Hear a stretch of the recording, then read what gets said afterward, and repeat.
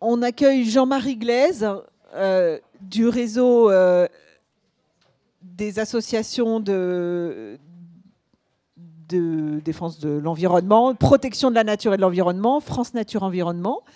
Et Cédric Zbazo, qui est directeur de l'Association des maires ruraux de France, dont je vous ai parlé. Ouais, il faut que tu te mettes à côté peut-être de Jean-Pierre, si tu peux, Quentin.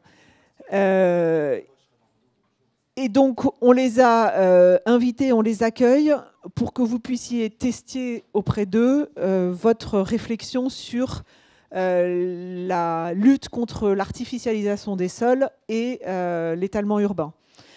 Donc, je vais leur donner la parole deux minutes chacun pour qu'ils se présentent, qu'ils vous disent peut-être assez rapidement ce sur quoi ils réfléchissent, peut-être sur ces sujets.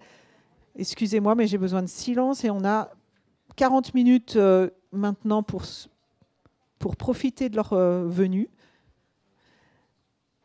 Donc, je leur passe la parole et ensuite, vous, quelques questions pour qu'ils puissent euh, réagir. Je ne sais pas lequel d'entre vous veut commencer. C'est poli.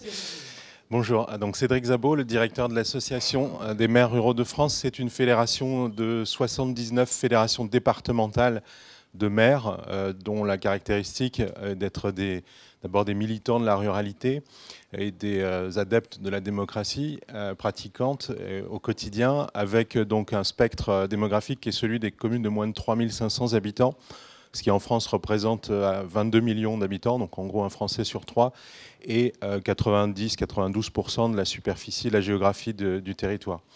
Euh, on travaille essentiellement sur trois sujets. J'essaierai d'être rapide. Sur le premier, qui est plus directement en lien avec votre questionnement, c'est toute la question de la place euh, de, la ruralité dans l'aménagement du territoire qu'on trouve aujourd'hui euh, au gré des 40 dernières années qui ont priorisé la métropolisation par toute une série de dispositifs réglementaires et législatifs, qu'il est aujourd'hui temps de changer de regard, à la fois sur la ruralité, mais plus globalement sur ces enjeux.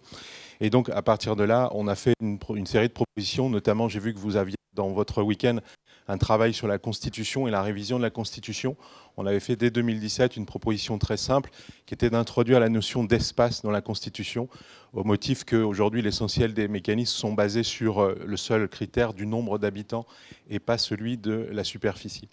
Euh, deuxième grand sujet, euh, les services publics, qui est en lien direct aussi avec le thème de l'atelier, c'est comment est-ce qu'on travaille en tant que collectivité locale à produire, organiser et servir des, organiser pardon, des services publics en milieu rural, comment est-ce qu'on travaille avec les autres opérateurs dont l'essentiel de, de, l'histoire récente est plutôt de se, de se, retirer des territoires de manière relative ou de manière très intense pour certains.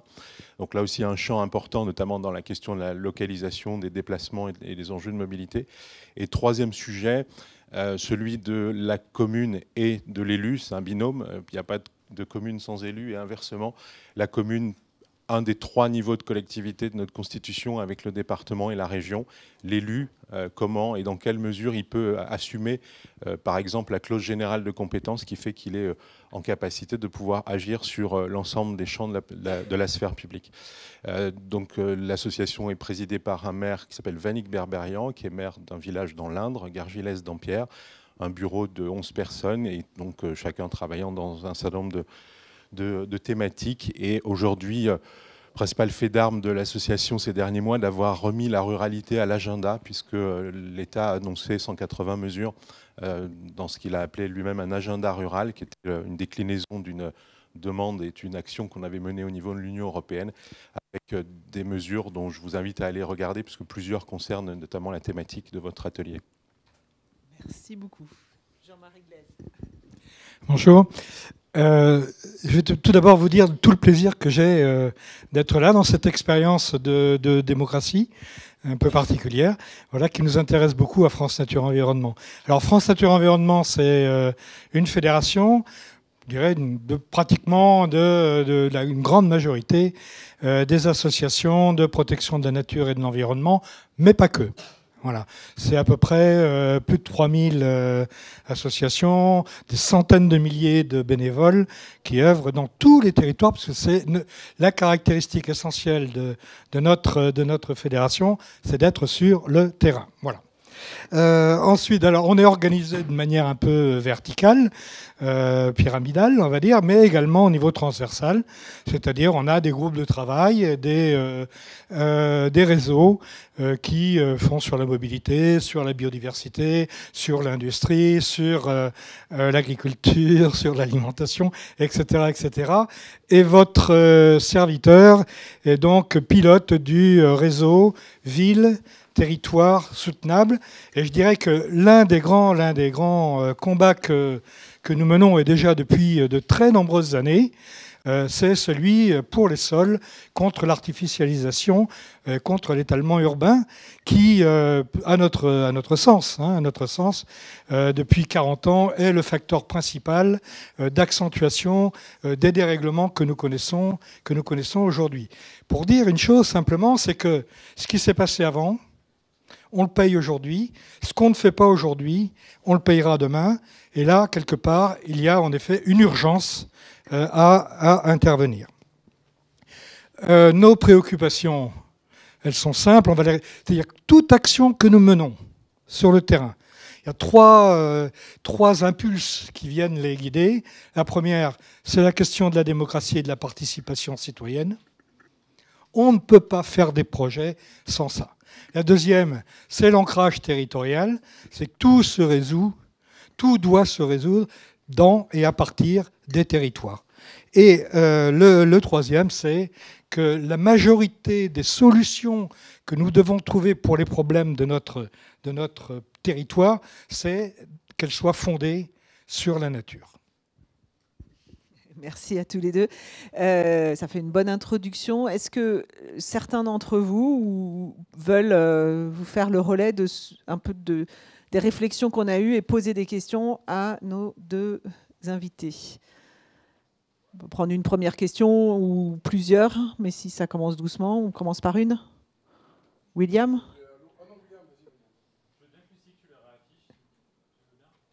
Tes questions, les questions qui ont été... Euh, Pendant ce temps, si tu veux, Denis, commence, prends, prends la parole et prends un micro, s'il te plaît, parce que on est en... Non, c'est surtout qu'on est enregistré, donc il euh, faut qu'on t'entende. Donc, euh, une des mesures qu'on a envisagées pour trouver de la cohérence dans ce qui se passe sur notre territoire, c'est de dire, ben voilà, il y a peut-être un, échelon pertinent pour euh, gérer nos, nos territoires qui n'est pas obligatoirement l'échelon communal avec les PLU, mais plutôt euh, sur un échelon qu'on pourrait qualifier de supracommunal, avec euh, la mise en place des schémas de cohérence territoriaux, ce qu'on appelle les SCOT, qui, euh, devraient, qui pourraient être une mesure imposée à l'ensemble des, des, territoires, puisque les SCOT aujourd'hui ne sont pas obligatoires sur chaque intercommunalité. Voilà, donc je voulais savoir ce que vous pensiez de cette proposition de mettre en place euh, des SCOT sur l'ensemble de notre territoire français et sur à l'échelle des intercommunalités, qui devrait permettre une meilleure gestion des sols et en tout cas une réflexion globale, non pas à l'échelle juste de chaque commune, qui des fois pourrait peut-être euh, essayer de, tirer euh, un avantage pour sa commune, mais bien au niveau d'un territoire et dire que c'est un territoire plus large qui doit penser, qui doit penser les sols. Voilà. Est-ce que l'un de vous deux veut commencer, réagir?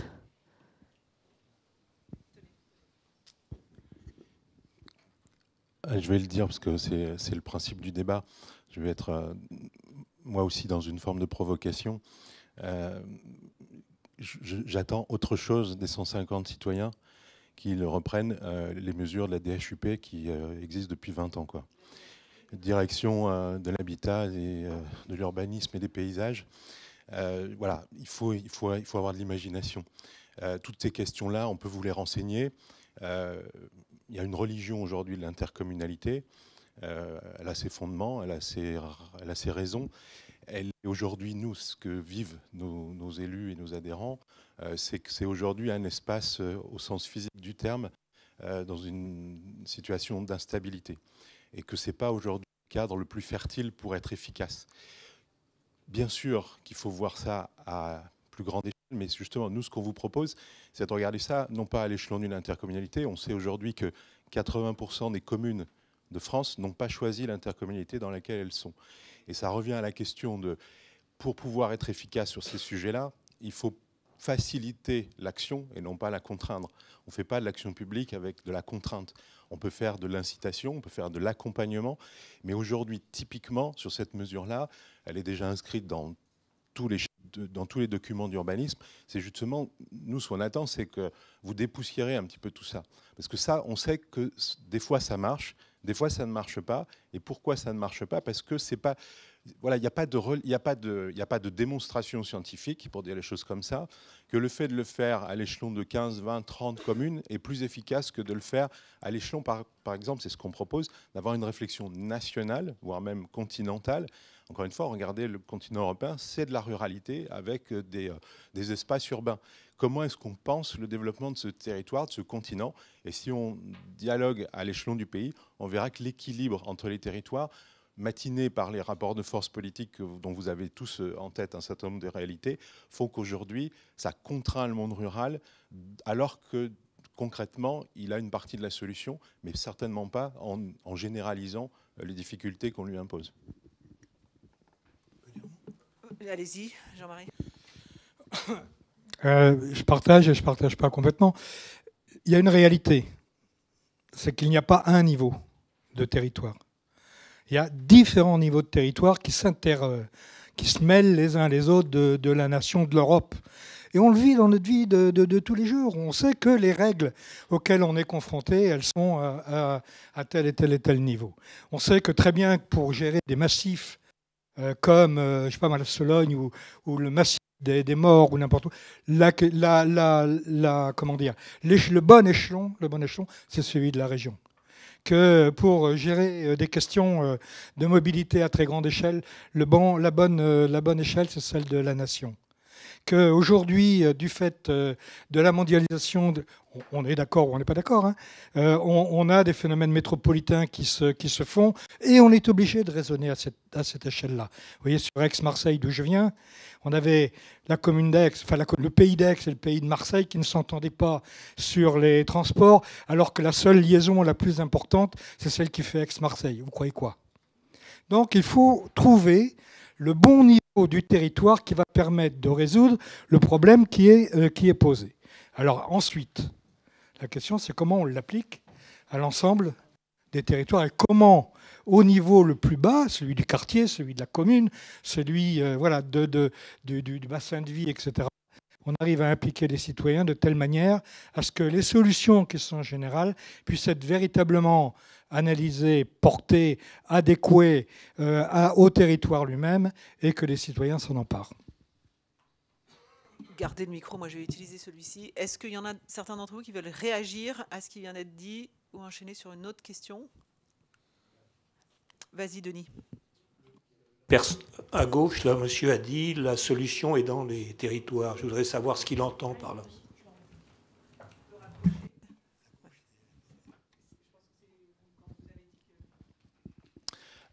On, dit ça parce que ce n'est pas spécifiquement euh, la ruralité, c'est les territoires dans leur globalité, c'est aussi la ville, c'est aussi. Euh, donc c'est une question euh, qui, est fondamentale. C'est cette difficulté qu'on a en France d'avoir des grands principes et qui se traduisent par des mécanismes extrêmement contraignants, qui laissent une latitude au niveau local extrêmement faible.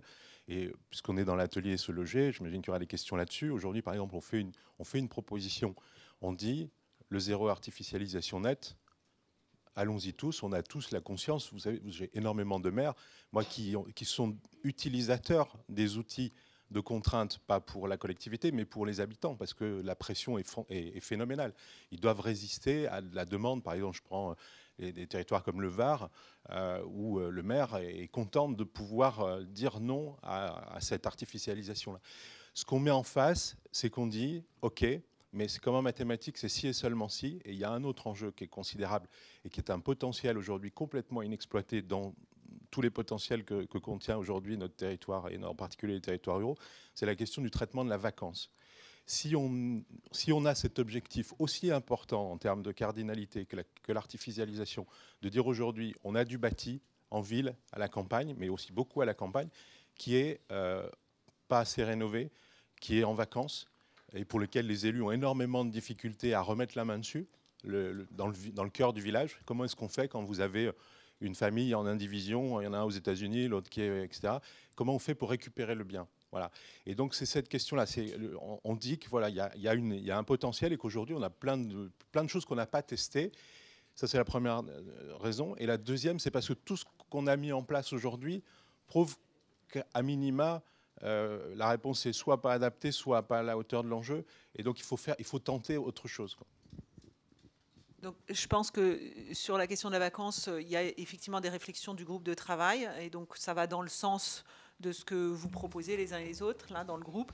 Par contre, sur le si et seulement si euh, on, renforce l'artificialisation des sols, euh, est-ce que vous pouvez nous en dire plus? Parce que je pense que c'est des choses sur lesquelles ça pourrait enrichir le, groupe. Est-ce que vous pouvez préciser fait que justement on se donne les moyens d'utiliser, de réquisitionner, je sais pas. Euh, encore une fois, Monsieur parlait de l'intercommunalité. comment ça se passe aujourd'hui dans une commission départementale de consommation de l'espace agricole? Vous avez des rapports de force entre les territoires urbains, le monde agricole et les territoires ruraux. Et que globalement, aujourd'hui, on autorise ce fameux étalement urbain au pourtour des métropoles, y compris parfois sur des terres qui sont en termes agricoles extrêmement fertiles, et qu'on va y transposer des interdits dans des territoires ruraux où les terres n'ont aucune valeur. Par exemple, c'est juste, je prends juste cet exemple-là. C'est-à-dire que, à force de toujours euh, avoir ce tropisme euh, de pourquoi on ferait porter euh, mécaniquement ou en tout cas majoritairement la question de l'étalement urbain au détriment du développement des villages. Par exemple, le droit à construire aujourd'hui dans, certains villages, il est à zéro. Là, vous avez des élections municipales et les gens vont se présenter pour dire j'accompagne la désertification du village. C'est juste pas possible. Et donc, juste ce qu'on dit, c'est qu'à l'intérieur de chacun, la France n'est pas uniforme, c'est ça aussi, c'est aussi une manière de répondre aussi à monsieur. Euh, des fois, le SCOT, des fois, c'est très bien. Mais qu'est-ce que c'est qu'un SCOT aujourd'hui? C'est quelque chose qui, pour les élus, est quelque chose d'assez lointain, d'extrêmement chronophage, dans lequel on vous explique des principes euh, sans forcément justement être euh, extrêmement pédagogique et avec euh, à la fin des conclusions qui sont extrêmement contraignantes et qui interdisent par exemple la reconquête des dents creuses à l'intérieur des villages par exemple. Ok, merci, c'est clair. on prend d'autres questions? Vas-y.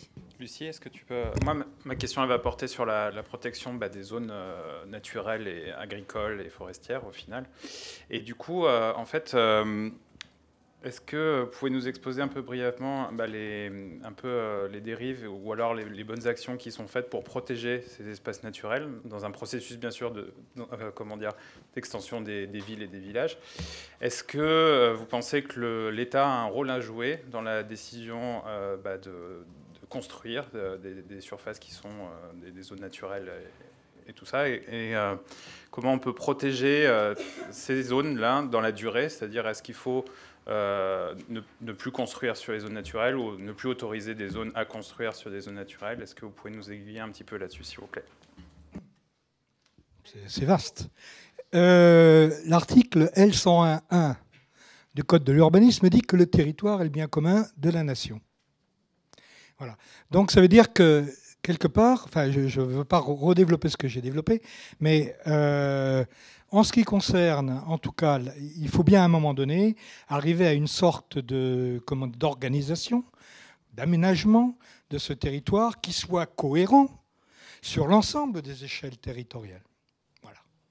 Donc, et qui soit cohérent également entre les différentes politiques sectorielles par exemple entre les localisations de l'emploi et les mobilités, entre, etc., etc. Et y compris d'ailleurs sur la préservation euh, des, euh, des, espaces agricoles, euh, naturels, agricoles et forestiers. Par rapport, par rapport à ça, il faut bien voir les choses. C'est qu'en en 40 ans, l'artificialisation a été multipliée, enfin, je sais pas, d'une manière absolument phénoménale. C'est-à-dire qu'on a, on a brouté on a brouté l'espace euh, avec de l'urbanisation euh, diffuse, etc. Par rapport à ce que disait monsieur, moi j'ai été en poste dans un territoire rural, dans le Lot. Euh, il est bien sûr pas concevable de dire qu'on ne puisse pas loger le fils du paysan qui est là, on ne puisse pas loger la, la, personne qui vient en vacances et qui veut s'y installer définitivement, etc. etc. Ce qu'on dit simplement, c'est que on ne peut pas le faire n'importe comment. En 20 ans, 25 ans, la consommation moyenne d'un ménage, si vous voulez, qui arrive, un nouveau ménage, est passée de 200 mètres carrés par habitant à 800 mètres carrés par habitant de territoire. Donc on dit ça, si vous voulez, ce n'est pas tolérable. Il y a une question de quantité, d'étalement, il y a une question de qualité. C'est que chaque maison, chaque route qui y conduit, chaque pylône électrique, c'est une coupure dans le milieu naturel. Et c'est une coupure qui va faire que les espèces ne peuvent pas euh, se bouger, etc., ne peuvent pas s'adapter au réchauffement qui arrive, ne peuvent pas, etc. Donc c'est pour ça qu'on va aussi vers la catastrophe. Donc pour, nous, FNE, euh, zéro artificialisation nette, ça c'est clair. Et puis, dans certains cas, par exemple au niveau, dès qu'il y a des, euh, des espaces naturels qui ne peuvent pas se, se reconstruire, moratoire. Sur des espaces agricoles périurbains, euh, on n'y touche pas non plus. On les garde, parce que c'est l'alimentation de demain, c'est notre résilience. Voilà. Euh, gardez le micro si vous voulez. Euh, sur, est-ce que vous voulez réagir d'autres, les uns les autres? Vas-y. Vas-y. Vous voulez répondre aussi? Sur le rôle de l'État, par exemple. Est-ce que, ça peut... Quel État C'est-à-dire que nous, Oui. Oui, oui c'est vrai, l'État qui, qui oralement dit euh, Monsieur le maire, je vous ai rien dit, faites, ou, euh, ou celui qui effectivement pond des circulaires euh, sans savoir si elles peuvent être appliquées. C'est un sujet qui n'est pas spécifique à votre thème. Nous, c'est justement, je parlais de l'agenda rural, on s'est battu pour qu'il y ait un référent ruralité dans chaque ministère, pour que quand quelqu'un pond quelque chose, est-ce que ça marche? Est-ce que ça peut, est-ce que ça peut aller? Est-ce que ça a une signification? Est-ce que ça a une matérialité? Et donc ça, c'est important euh, de continuer à travailler sur cette euh, prise de conscience. Et donc c'est une manière de répondre sur la question du rôle de l'État. C'est que le, message principal des élus, c'est donnez-nous les moyens, y compris dans la formation, dans l'appropriation des enjeux, etc. Euh, plutôt que de nous dire c'est comme ça qu'il faut faire, sans, en nous confiant des responsabilités, sans les moyens qui vont avec, par exemple. Et euh, je, parlais tout à l'heure du Ça serait quoi ces moyens? Mais par exemple, euh, il y a eu des drames euh, qui, ont concerné des élus sur les interactions avec des citoyens, dire, inconvenants, voire même violents.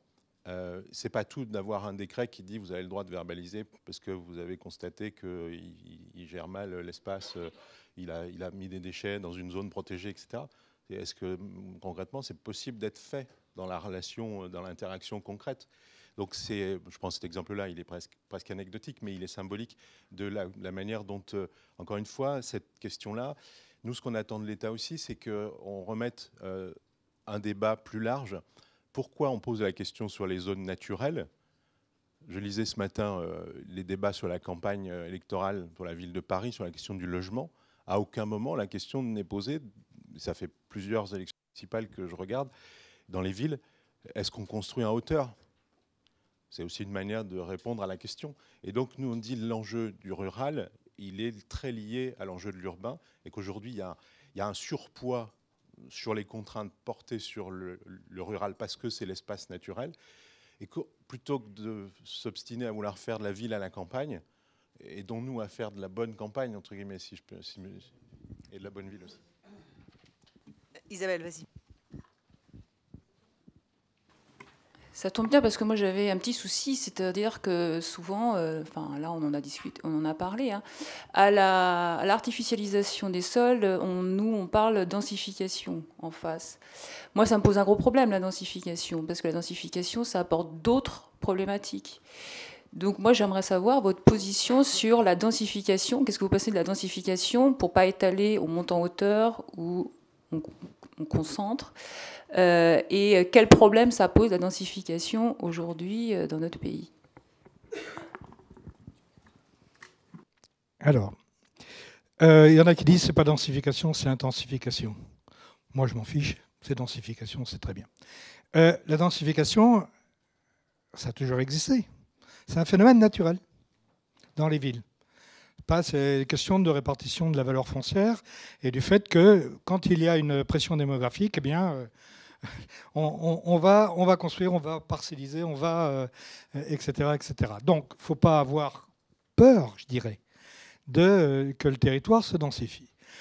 Deuxièmement, je crois qu'il y a une étude de l'ADEME, alors moi je ne suis pas très bon sur les chiffres, mais euh, qui dit qu'il y a à peu près, il y aurait de quoi, euh, euh, comment dire, absorber la, croissance urbaine pendant 15 ans ou 20 ans en récupérant uniquement les friches industrielles et, les friches qui, qui, traînent un petit peu partout.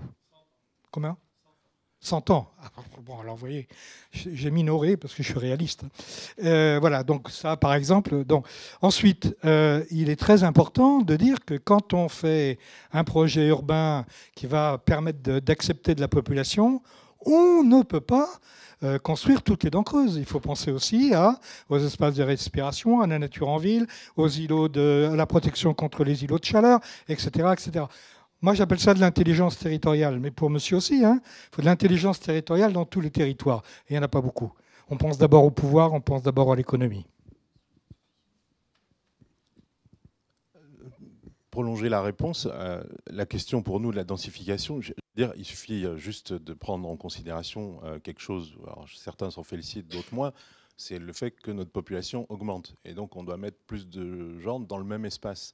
La densification, c'est ce qu'on observe dans le monde rural depuis pas mal d'années. Aujourd'hui, euh, les populations augmentent. C'est évidemment pas uniforme. C'est comme dans les villes.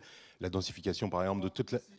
Revoir dans toute la, partie euh, ouest euh, du pays, aujourd'hui, une des conséquences de la densification, c'est le sous-équipement en, en public d'une partie des territoires qui se sont très rapidement euh, densifiés. Euh, sous équipement en école, en service de proximité. Donc ça, c'est aussi un défi euh, collectif.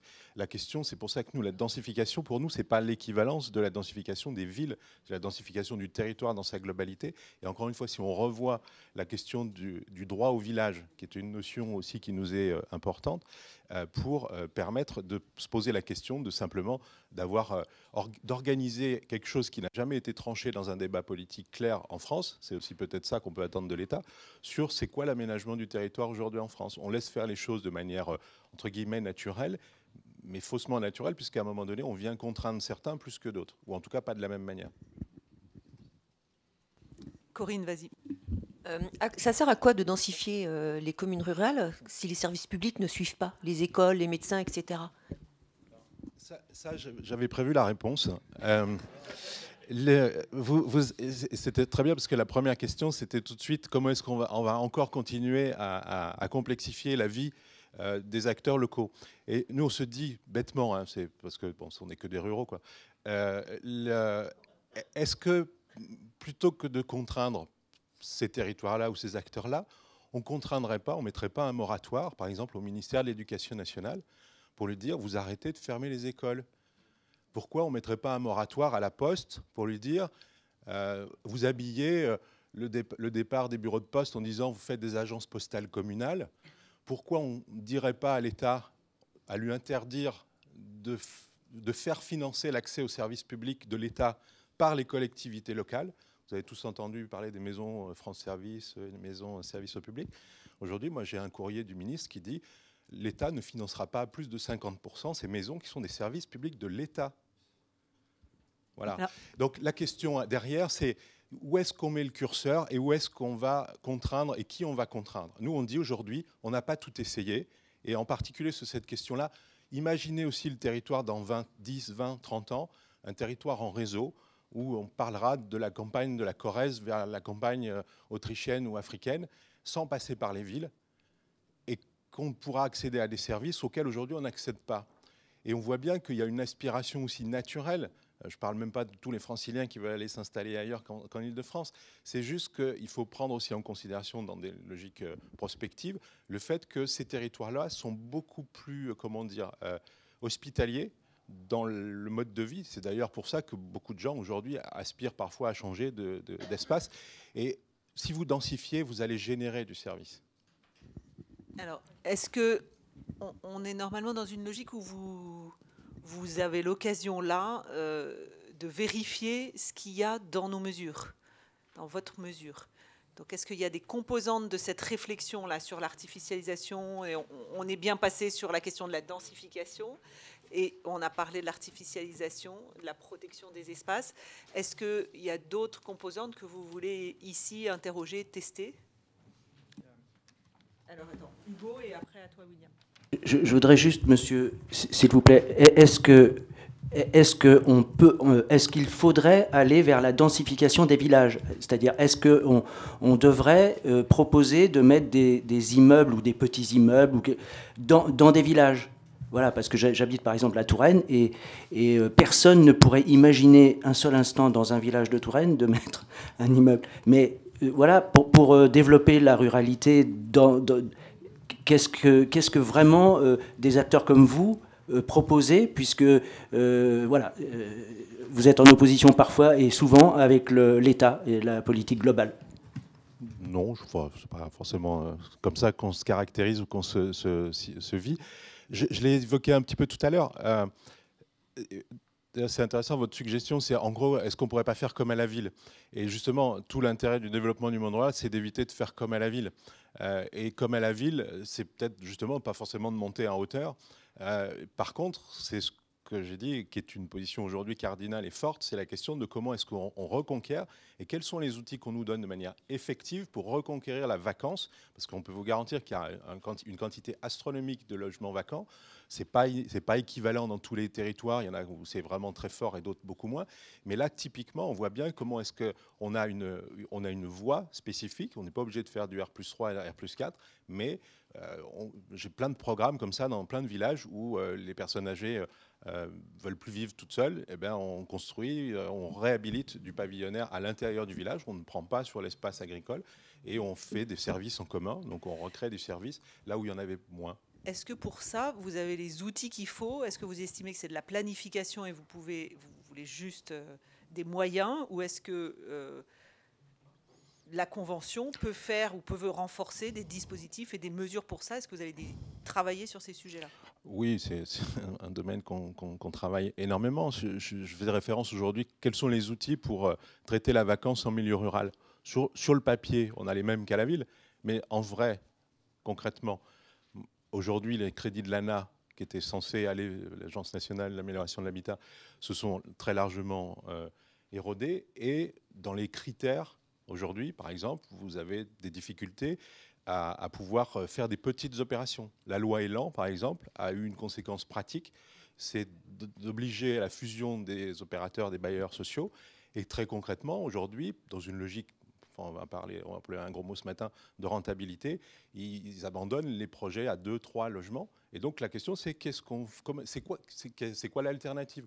Elle existe, il n'y a pas de problème. C'est aussi un sujet, euh, là aussi c'est un autre gros mot qu'on utilise souvent, c'est la question de la péréquation. Euh, à force de toujours donner aux mêmes, bah, forcément on reconstruit la ville sur elle-même, il n'y a pas de souci. Hein. vous avez toujours des quartiers qui se, qui se refont. Je dis simplement, très clairement, là il y a un sujet finance, j'ai vu que vous aviez aussi un gros atelier là-dessus. Comment est-ce qu'on finance le développement des territoires ruraux, non pas simplement pour eux, mais premièrement sur un principe d'égalité, premièrement. Et deuxièmement, par rapport à l'enjeu qui, nous, euh, qui, nous embrasse tous, c'est euh, si on veut régler globalement le problème, il va bien falloir qu'à un moment donné, tout le monde ait les moyens de le faire. Donc une péréquation ou des financements pour pouvoir intensifier les bourgs et les villages. C'est ça, que, ça dont il est question. une des, ouais, une des possibilités. Ok, non, mais pour nous, on a besoin de choses concrètes parce qu'il nous reste trois minutes. je, je, voudrais juste préciser une petite chose, c'est que la question des services publics, des communs, elle se pose aussi bien au niveau, au niveau rural qu'au niveau urbain ou périurbain. Les, gilets jaunes aussi viennent de ça, c'est-à-dire viennent de, cette déshérence d'un certain nombre de territoires.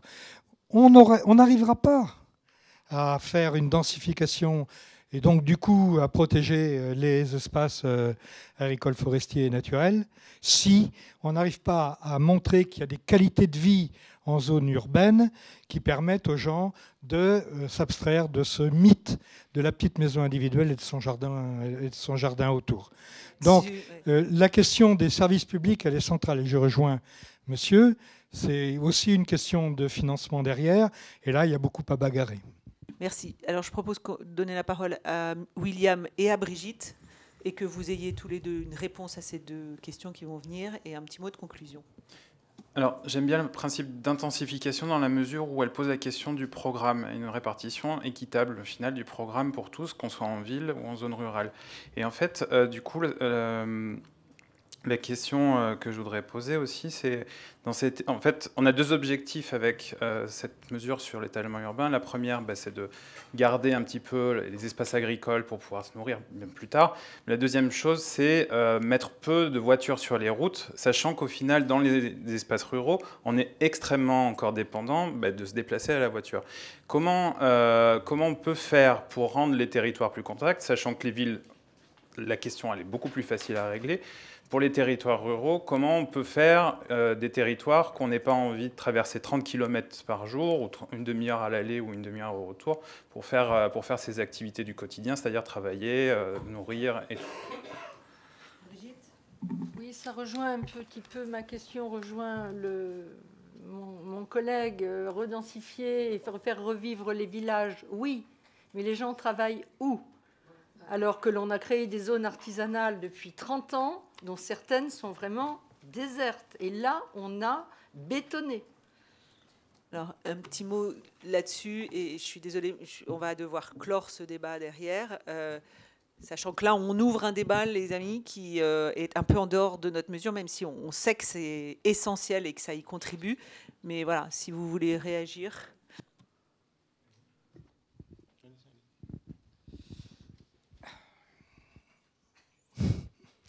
Alors moi je dirais, enfin euh, non mais je vais, dire quelque chose d'un peu. On est en train de réfléchir à France Nature Environnement sur cette question-là, qui est de dire euh, les espaces qui ne sont pas des espaces métropolitains, des espaces d'attractivité, de compétitivité, etc. Donc quelque part qui n'existent pas. Euh, eh bien, en fait, c'est dans ces espaces-là, donc ça comprend les espaces ruraux, mais ça comprend aussi le périurbain ou les, périphéries proches des villes, ce sont des formidables espaces d'expérimentation de nouvelles formes de sociabilité, de nouvelles formes économiques, de nouvelles formes d'apprentissage collectif, etc., et de nouvelles formes de pouvoir, en dehors de ce que l'on connaît aujourd'hui, et qui est donc fondamentalement nécessaire si on veut réussir la, transition euh, écologique. Je ne sais pas si je me suis bien exprimé, mais vous reverrez, ça. Voilà. Euh, juste le dernier mot, chers amis, par rapport à l'environnement, il faut se former, et se former tout le temps et allez, et allez euh, comment dire, solliciter vos associations, demander aux élus de mettre des moyens euh, à leur, à leur disposition, etc. Il faut se former.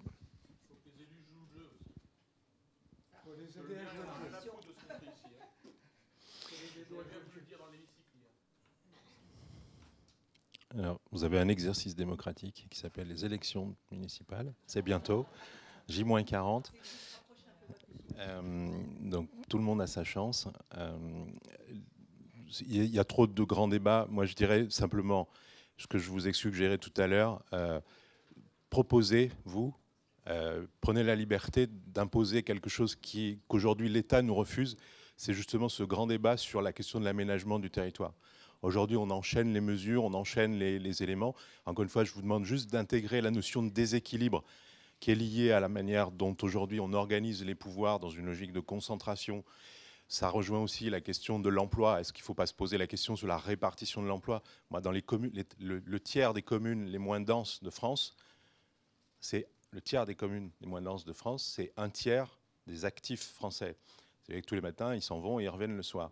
Donc cette question-là de la géolocalisation de l'emploi, sur la question euh, du développement du télétravail qui va euh, normalement euh, croître un peu, mais on ne va pas se mentir non plus, c'est pas ça qui va changer la, vie.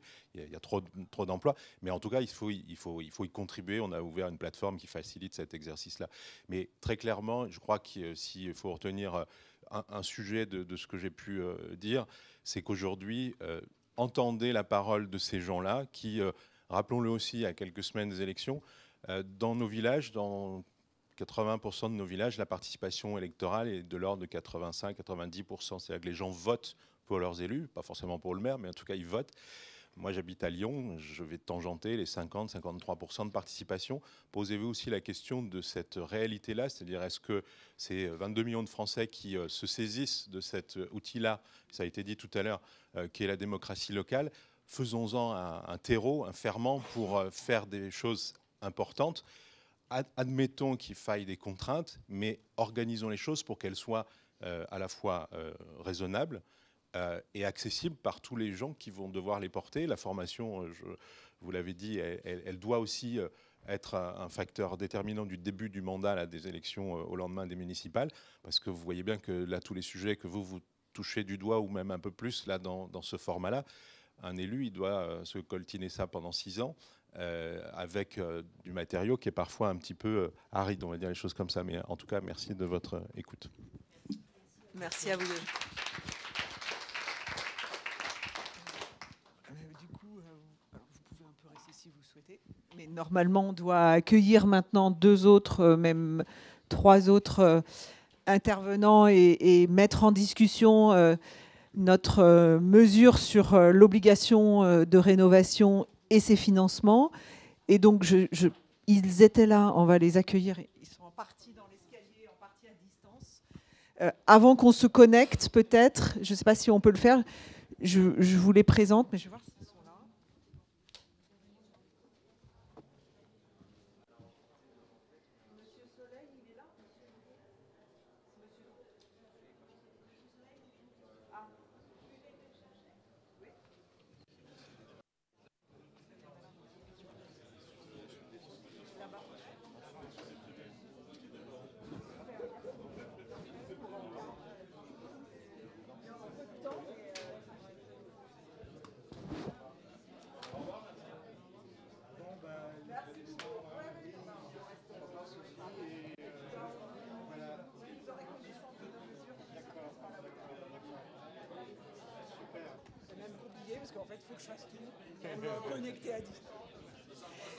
Allez. Alors, on va innover aussi dans nos manières. Euh, voilà. En, général, vous allez voir, pas de problème. Euh, voilà. Donc, on accueille dans la salle avec nous sur nos questions de, et, toutes les questions que vous vous posez sur la question de le sujet du financement sur la question du financement euh, de la rénovation globale des représentants euh, de BNP Paribas. Euh, ils sont venus à deux. Ils représentent en fait différentes métiers, différentes sensibilités, besoins qui peuvent nous, nous, aider à réfléchir au sein d'une banque privée. et on va avoir à distance, c'est pour ça que ça nous prend un petit peu de, à la fois d'organisation, et je ne sais pas comment on va se débrouiller, mais on va bien le faire. Euh, un représentant de l'association euh, des régions de France, qui est donc un vice-président d'une région, la région Centre-Val de Loire, euh, qui est lui-même vice-président des questions d'environnement et en plus de citoyenneté, qui s'appelle Charles Fournier. Sébastien Soleil et Nicolas Drault, Sébastien qui est au bout et qui est là, voilà, vont se présenter, vont nous expliquer. Et on va essayer de se connecter, d'avoir en direct à l'écran euh, Charles Fournier. Je ne sais pas s'il nous entend déjà, mais il prendra sans doute le débat euh, en cours, euh, puisqu'aujourd'hui, il animait par ailleurs dans sa région une journée avec un conseil régional des jeunes, je crois. Voilà. Notre objectif dans ces 40 minutes qu'on a maintenant, c'est, comme tout à l'heure, de questionner et de tester euh, les réflexions que vous avez sur notre volet financement euh, de, la, rénovation globale. Euh, et, peut-être pour vous mettre en situation tous les deux et que vous compreniez d'où on part, en fait, on a une, disposition, une mesure qui est en cours de préparation dans ce groupe, qui est assez ambitieuse, qui consisterait à obliger la rénovation globale en France en, ayant des, horizons euh, assez proches. Voilà. On renforce un petit peu ce qui est déjà prévu dans, la loi, mais on a bien identifié, si je peux le résumer comme ça, que pour que tout ça fonctionne, parce que c'est très ambitieux, euh, qu'on ait les moyens, les dispositifs de financement. Donc il y a une question de, de, flux financiers, il y a une question de moyens financiers. Et donc sur la question des flux financiers, si on peut dire, et peut-être d'autres choses si vous, vous avez des idées. Euh, on, a, on, avait envie de vous entendre et, d'entendre aussi une région parce qu'on se pose euh, comme autre moyen d'accompagnement. Bonjour Jean-Michel. Voilà. Euh, on se posait aussi la question de, et, c'est une bonne transition, je ne sais pas si vous nous entendez. Charles Fournier? Oui, très bien, parfaitement. On avait aussi comme réflexion le fait que cette rénovation globale obligatoire ne pourra pas se faire, donc d'une part sans financement, c'est ce que je disais, et d'autre part sans euh, un accompagnement, donc des guichets uniques euh, implantés proches des gens dans les territoires pour euh, voilà, monter les dossiers, et c'est ce que proposent les citoyens, jusqu'à monter des dossiers de financement. euh, et accompagner, bien sûr, sur des diagnostics, sur euh, euh, la sélection de, ou en tout cas l'accompagnement de professionnels, d'accompagner les particuliers dans leur dossier de, et leur mise en place de rénovation. Voilà, je ne vais pas aller plus loin. Ce que je vous propose, c'est que vous trois, respectivement, vous vous présentiez en deux, minutes et qu'ensuite on donne la parole dans le groupe. On va commencer. Charles, vous voulez commencer? Allez-y, allez-y, on va tester euh, comme ça cette euh, disposition. Parfaitement, parfaitement. Bon, ben déjà, désolé de ne pas être euh, présent physiquement avec vous, ça aurait été avec un grand, grand plaisir. D'autant que dans ma région, il y, a, une petite convention citoyenne comme, la vôtre qui travaille sur le climat et que que c'est évidemment une belle, belle démarche. je suis Charles Fournier, vice-président de la région Centre-Val de Loire. Et ma délégation s'appelle Transition écologique et citoyenne je pense que c'est en soi, ça dit déjà beaucoup de choses. Voilà, et donc j'ai en charge les questions euh, de la transition énergétique et plus particulièrement la, question de la rénovation thermique de l'habitat, qui est un enjeu majeur, majeur, majeur. Parfait. Alors, vous ne voyez pas toute la salle. Euh, si on peut, on, vous présentera. Voilà, on va faire tourner pour que vous compreniez quand même comment on est disposé. Euh, il y a 30 personnes qui sont en U. voilà. Donc, voilà, vous, vous nous voyez de dos, mais vous voyez les autres intervenants, ils sont à ma gauche. Du coup, je vous propose de vous présenter. Oui, bonjour à toutes et à tous. Moi, donc, c'est m'appelle Nicolas Drault. Euh, moi, je suis un, je suis un ch'ti perdu à Paris. Je rentre à Lille après, voilà. Et, mon, métier chez BNP Paribas, c'est la seule boîte que, c'est dans laquelle je bosse depuis une trentaine d'années. En fait, je suis patron du, du ce qu'on appelle le retail. Euh, le retail, c'est les agences, euh, donc c'est les clients particuliers et professionnels. Et puis donc Sébastien qui porte bien son nom, vous allez comprendre pourquoi. Merci Nicolas. Euh, donc je suis Sébastien Soleil. Bon, je suis très heureux d'être là parmi, vous. Euh, donc j'ai un profil très différent de Nicolas, c'est pour ça qu'on est venu à deux. Moi, je, je, travaille pour la banque que depuis un an et demi, mais j'ai toujours travaillé dans la transition énergétique. Donc j'ai plutôt une casquette d'expert transition énergétique, notamment en, en termes de rénovation énergétique. Et au sein de la banque, donc au sein de BNP Paribas, je suis responsable transition énergétique et environnement. Donc mon, rôle principal, c'est de titiller un peu euh, la banque de l'intérieur pour qu'on soit capable de proposer à tous nos clients euh, des produits et services pour, euh, pour accompagner la transition énergétique donc, de nos clients. Alors, vous allez garder le micro et on va le donner dans la salle la parole. vous gardez le micro avec vous parce qu'ils en ont à leur table. Donc, vas-y, Samir. Bonjour à tous. Euh, merci de votre présence. Euh, on nous parle qu'on a besoin d'argent et, donc là, on veut débloquer. On dit qu'il y a beaucoup d'épargne des Français et on a depuis peu euh, diminué la rentabilité livret A. Tout le monde a un livret A. Et les livrets durables qui semblent qui sont voués, semble-t-il, peut-être à la rénovation, ils sont bloqués. comment vous expliquez ça? Comment vous expliquer Nous, notre objectif, c'est, je vais le redire, notre objectif, c'est d'essayer de trouver des leviers et donc, euh, voilà, nous, dire si ça. Réorienter le, pardon, nos. Non, mais je, oui, je, pense, je, je, vais répondre, je vais répondre sous l'angle. sous l'angle de, de, l'objectif de notre, de notre réunion. Euh, en fait, si, si voilà, l'idée que vous auriez effectivement de, majorer les montants, c'est ça, c'est ça, c'est ça. Ce que je veux dire, les, tout notre épargne est, est, est bloquée notre épargne, beaucoup de, a, pris, semble-t-il, il y a beaucoup d'argent sur les livrets A des Français, et donc l'État a demandé de, réduire ses taux, mais c'est pas ça le problème. C'est que nous, si on a de l'argent, on voudrait l'ouvrir sur des, sur des, épargnes qui pourraient être sur le durable. Et il trouve qu'il y a le LDD, par exemple, qui est, proposé, et lui, il est bloqué à un, certain, un plafond. Euh, est-ce qu'on peut développer, est-ce qu'on peut augmenter ces plafonds et l'ouvrir plus sur, sur des projets comme vous pouvez les financer? Non, mais c'est comme ça que j'avais compris votre question. Et, alors après, il ne m'appartient pas de, de, savoir si on doit, on doit majorer, la façon de ne m'appartient pas de, monter ou non ce, ce, ce montant-là. Après, ma conviction aujourd'hui, c'est que on n'a pas de, sujet ou de souci de, liquidité pour financer, euh, financer l'économie, financer les investissements. Donc, ma conviction aujourd'hui, ça que ce n'est pas un sujet de, ressources de, financement. Euh, c'est plus, euh, enfin, moi, je pense que par rapport au sujet qu'elle vote aujourd'hui, c'est plus un sujet de, déjà de.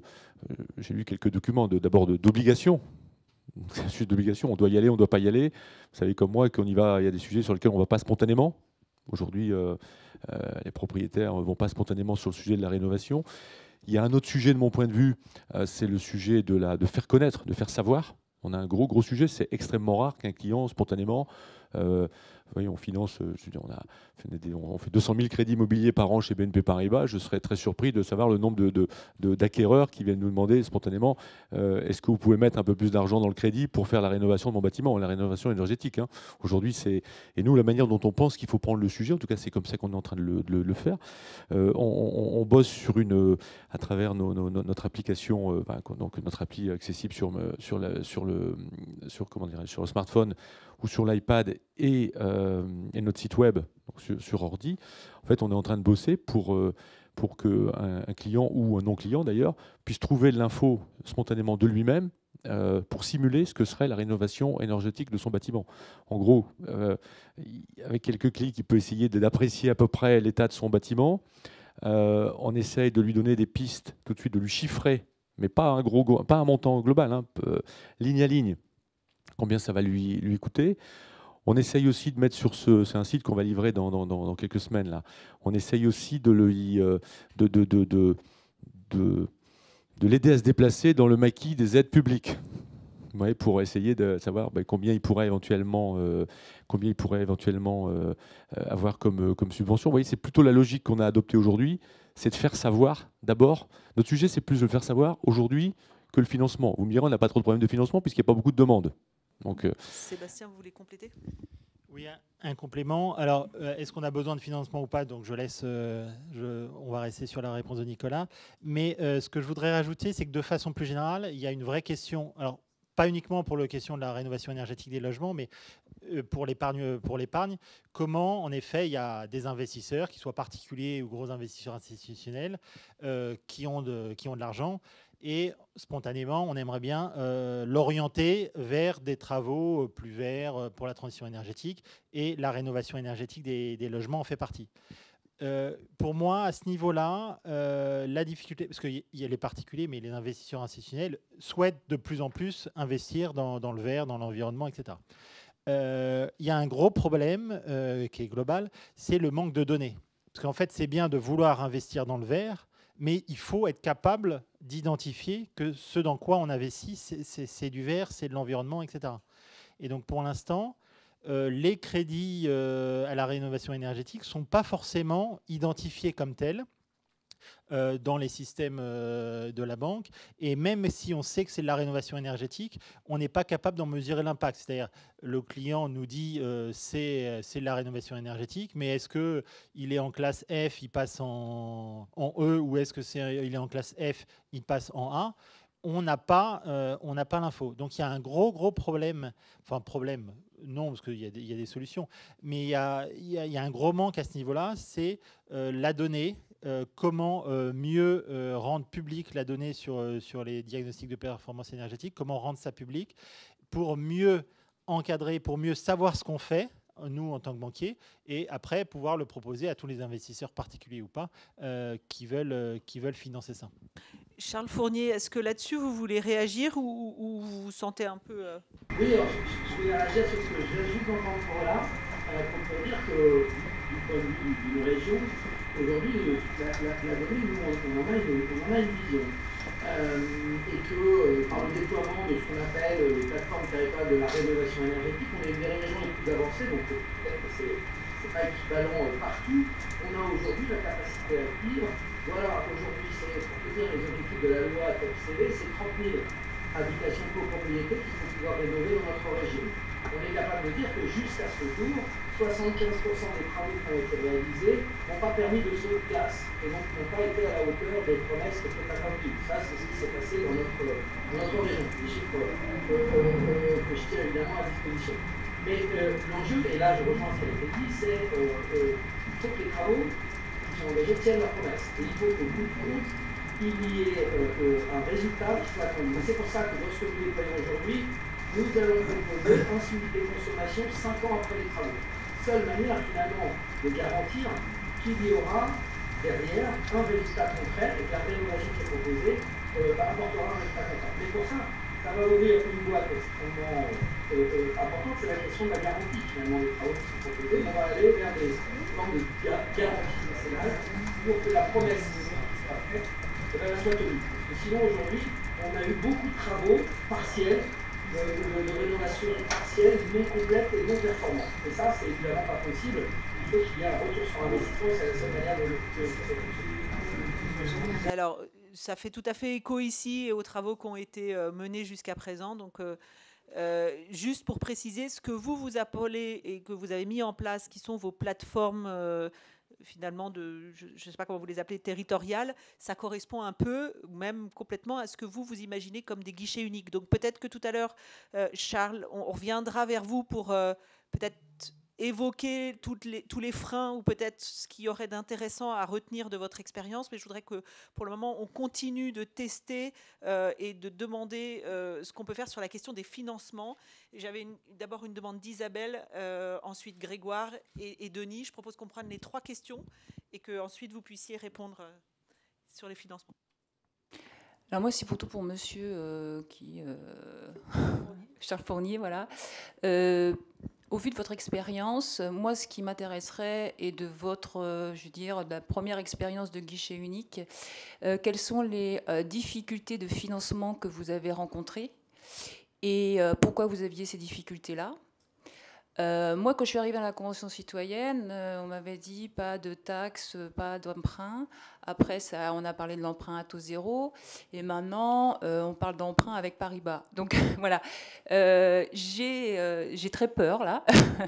donc, dans quelle mesure le service public, le financement public se désengagera et le financement privé prendra la relève? J'ai une petite inquiétude. Donc, voilà, c'était mes questions. Alors moi, c'est pour réagir à ce qui a été euh, dit un petit peu plus tôt. Donc oui, a priori, pour, pour les ressources, peut-être pas trop de problèmes, mais il faut savoir que nous, on prévoit quand même qu'il y ait des multiplications par 2, 3, 4 de ce type d'emprunt. Mais il y aura aussi au, au, niveau des ressources humaines au sein des banques, c'est-à-dire qu'il faut aussi peut-être qu'il y ait un accompagnement, des formations. Vous avez dit l'information, on, peut, euh, on, la met à disposition de tout le monde, mais il faut peut-être aussi accompagner les gens qui peuvent en avoir besoin et d'être un peu plus proactif à ce niveau-là. Et donc ce jouera pour vous un autre enjeu. Et euh, il y a aussi la question qu'on peut vous poser sur le lien que pourrait être mis justement avec l'État sur des garanties euh, de l'État pour certains prêts, pour certaines personnes euh, qui ont un peu plus de difficultés pour faire des prêts, pour pas que ça soit un blocage. Est-ce que vous êtes prêt à faire ce genre de, de, de, de pari avec l'État pour permettre à ce que tout le monde puisse rénover Denis? Merci. Bon, j'en profite parce que j'ai la parole. J'ai deux questions en fait. Une pour BNP, très clair, c'est un sujet qu'on a largement abordé ici. C'est la durée de remboursement des prêts. Est-ce que les, banques demain seraient prêtes à faire des prêts à long terme pour de la rénovation énergétique? Parce qu'on sait que euh, aujourd'hui, le retour sur investissement il est long, estimé bien souvent entre 20 et 25 ans. Est-ce qu'on serait prêt à faire donc euh, du, du, prêt à long terme Est-ce qu'on serait prêt à faire du prêt à long terme qui pourrait être cessible avec une maison peut-être pour des personnes qui seraient, enfin pour logement pour des personnes qui seraient âgées? Voilà, c'est toutes ces questions qui, qui, se posent sur le prêt à long terme parce que pour le moment la rénovation énergétique elle est financée sur des prêts du type prêt à la, à la consommation. Hein, et de même, que devient le prêt? Ben, que j'ai souscrit à long terme si je vends ma maison tout simplement. Puis la deuxième question, elle est pour le. Peut-être pas tout simplement parce que c'est quand même le cœur de votre proposition. Voilà. Donc j'aimerais bien que vous l'expliquiez, que vous la testiez, parce que sinon on va arriver à la fin, on l'aura pas testé. Dire, la question est simple, mais la réponse est compliquée. Hein, voilà. Euh, et puis la question pour le vice-président, elle est toute, euh, elle est- elle- elle est- la réponse est sans doute compliquée, mais là aussi la question est simple. Quel est pour vous, monsieur le vice-président du conseil régional, le, le- le maillage territorial cohérent pour de futurs guichets uniques? Voilà, merci.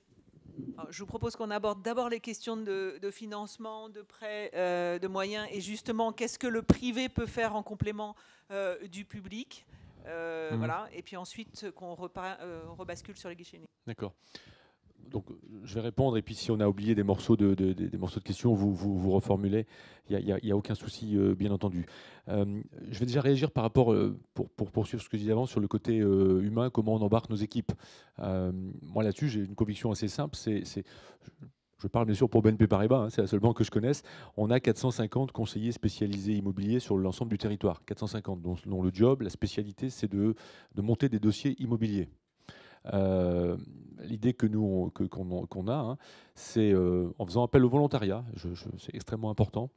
C'est euh, parce que je pense qu'il faut des convictions pour faire ce que vous faites. Vous avez des convictions et je suis sûr que dans nos 450 conseillers spécialisés immobiliers, on en trouvera bien une peut-être la moitié qui auront envie de jouer ce jeu-là et qu'on pourra mettre à niveau techniquement et, quelque part, c'est valoriser leur métier, c'est leur donner des, c'est aller dans le sens des valeurs qu'ils incarnent et qu'ils portent.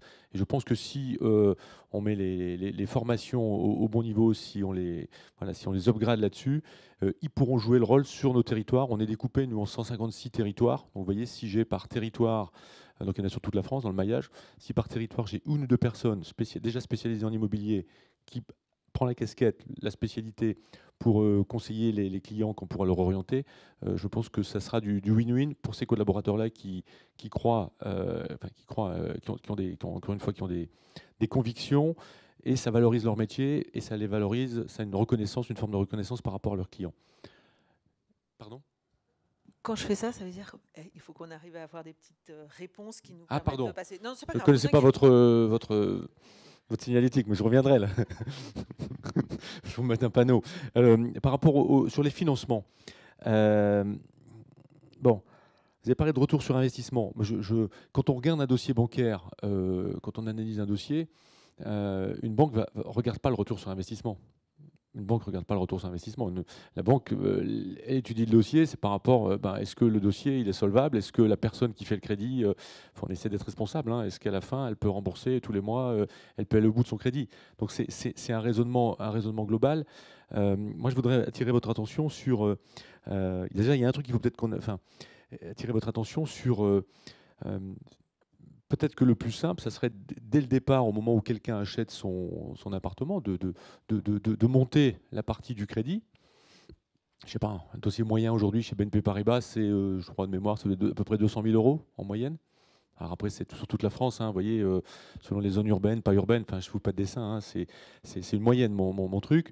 Donc, euh, majorer ce, montant de crédit de, de, de- la montant des travaux de, rénovation, euh, de ré- de rénovation énergétique, et puis ben, si le dossier il est, il est, il est, il est- solvable, il est, ça veut dire que ben, accepter qu'il y ait une partie de ce crédit-là, quelque part, qui ne repose pas sur la valeur immédiate de l'immeuble, encore que, encore que, quand la frénésie immobilière se sera un tout petit peu calmée, on peut peut-être penser, et on doit le penser, je pense, c'est raisonnable de le penser, que euh, les travaux de rénovation énergétique valoriseront aussi la valeur de l'immeuble. Puisque si ça devient indispensable, obligatoire à chaque transition euh, de bâtiment, transmission de bâtiment, pardon, de, faire ces travaux-là, ben, celui qui les aura fait une fois, on peut espérer que s'il revend. Aujourd'hui, un bien est revendu tous les 7 ans.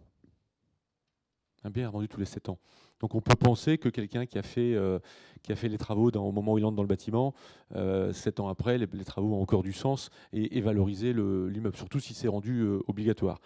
Euh, le sujet du, je réagis par rapport au sujet. euh, Juste, ça c'est essentiel pour nous. En fait, le fait que vous nous disiez que ce soit possible qu'une bah, banque. en tout cas, en tout cas, ça peut. se- je, je- Parce que la réflexion de l'obligation au moment de la, de la cession de la rénovation et donc potentiellement de En la cas, contraction d'un prêt hmm. qui pourrait être euh, adossé au prêt immobilier, ça vous paraît faisable?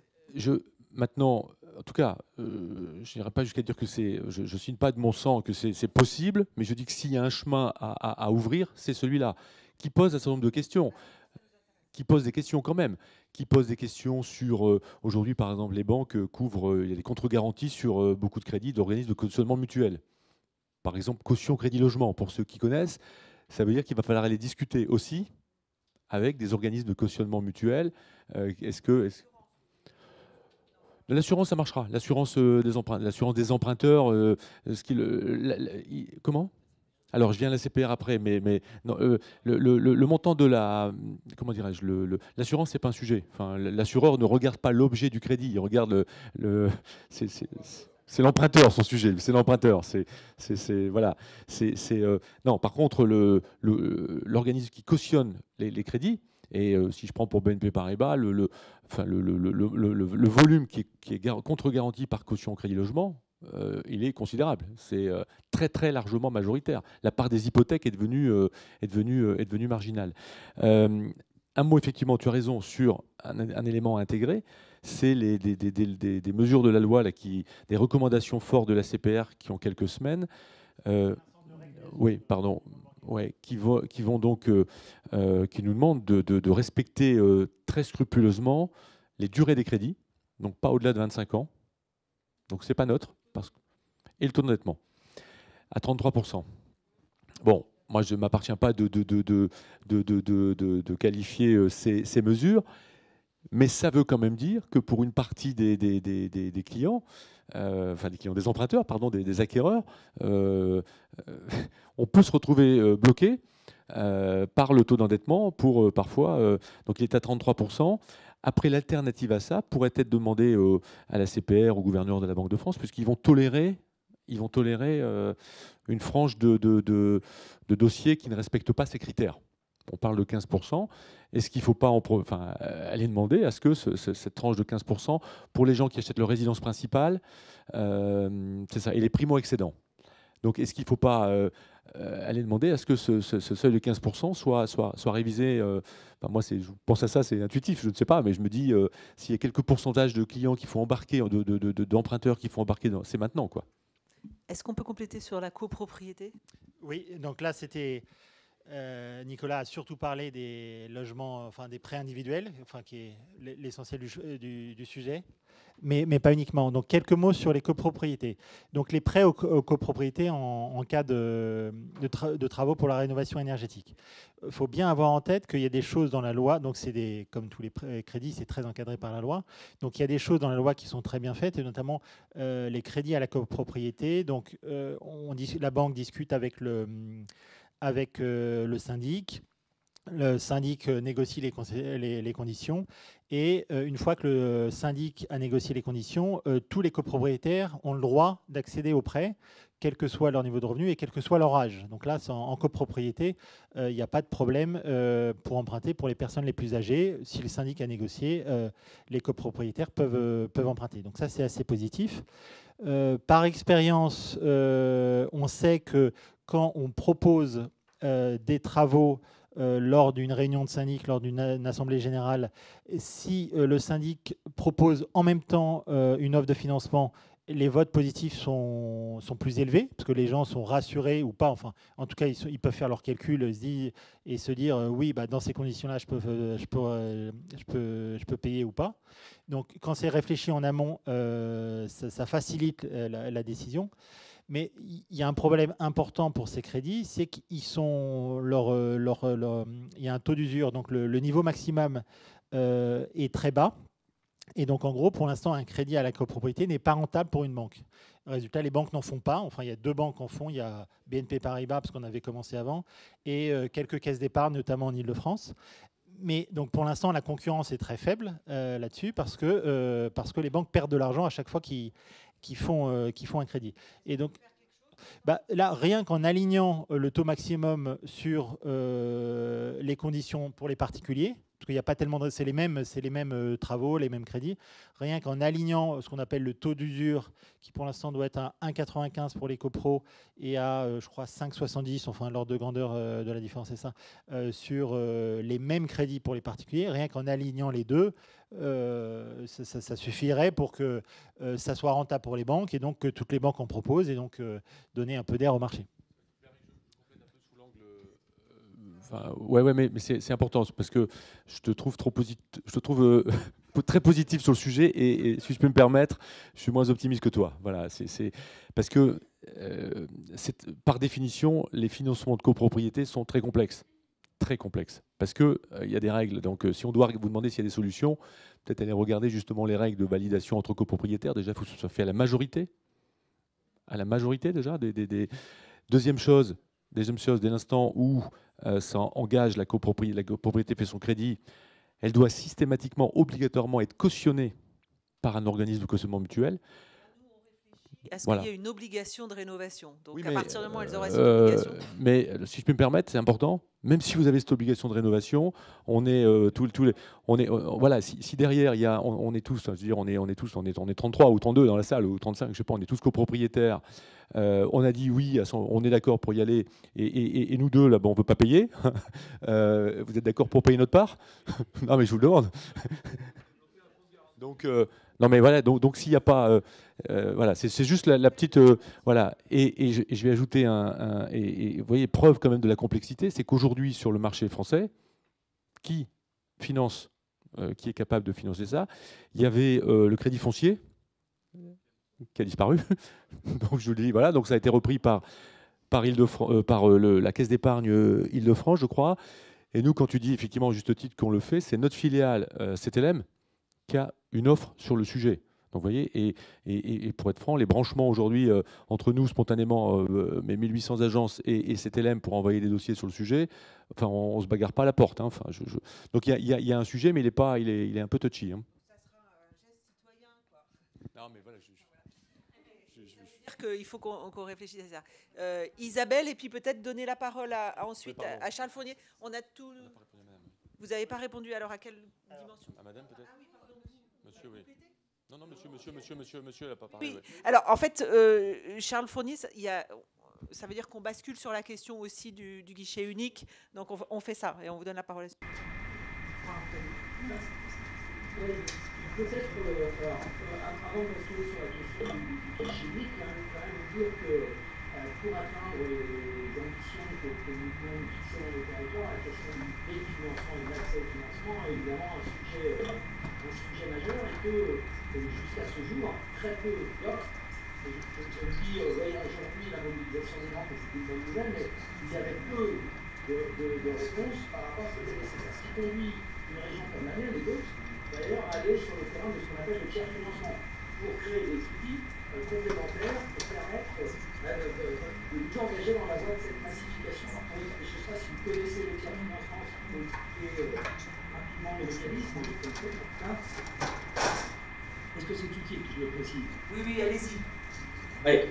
Le, le, principe du, de, de, la société de tiers financement, donc euh, dans notre région, on a choisi une forme euh, d'une société d'économie mixte et euh, nous, finalement, nous reprêtons aux ménages de l'argent qui nous est prêté par la Banque européenne d'investissement et nous assortissons ce prêt d'un service qui va de l'information jusqu'au suivi des, des, de l'aide à l'ingénierie du projet et le suivi des consommations, comme je l'indiquais tout à l'heure, cinq ans après les travaux. Et donc l'idée est, assez simple, c'est que les économies d'énergie puissent couvrir euh, ce, prêt, ou en tout cas euh, faire en sorte qu'on s'en rapproche euh, le, plus possible. Mais si on crée des instruments comme cela, c'est pour avoir un effet d'entraînement pour qu'on ait aujourd'hui toutes les réponses possibles en matière de financement. Parce que c'est, on a, en fonction des catégories, à la fois un sujet pour décloisonner l'accès à ces aides, mais on avait des trous dans la raquette et on n'a aujourd'hui pas toutes les réponses pour pouvoir faire la massification qui est nécessaire. Je voudrais dire euh, de, ce point de vue-là euh, que le futur de ces, guichets uniques va permettre, je l'espère, de rapprocher dans un seul dans un seul espace le conseil, l'ingénierie financière des projets. Et ça, c'est évidemment fondamental pour éviter euh, l'éparpillement, pour éviter euh, le découragement, se disant bah, finalement, euh, voilà, c'est trop compliqué, je ne vais pas m'en sortir dans le maquis des aides, pour reprendre l'expression qui a été, qui a été nommée tout à l'heure. Nous, nous avons tenté avant cette société d'économie mixte des partenariats avec les banques, avec des prêts à taux zéro que nous avions élaborés ensemble, et ça n'a pas beaucoup fonctionné. Ça n'a pas été en tout cas à la hauteur de ce qui était nécessaire. Donc là, aujourd'hui, on s'engage dans la voie du, du tiers financement direct. Des banques s'engagent avec nous dans la société d'économie mixte, pas toutes, mais quelques-unes. Des collectivités s'y engagent. Et donc, on espère à travers ça, euh, bah, en tout cas, ouvrir euh, la voie à cette massification dont nous avons euh, largement besoin, besoin aujourd'hui. Nous espérons aussi connecter dans ces guichets l'ensemble des aides. Je pense évidemment aux aides de l'ANA pour les personnes les, plus, les plus en difficulté, mais aussi avoir une articulation avec les, les, éco-prêts à taux, à taux zéro.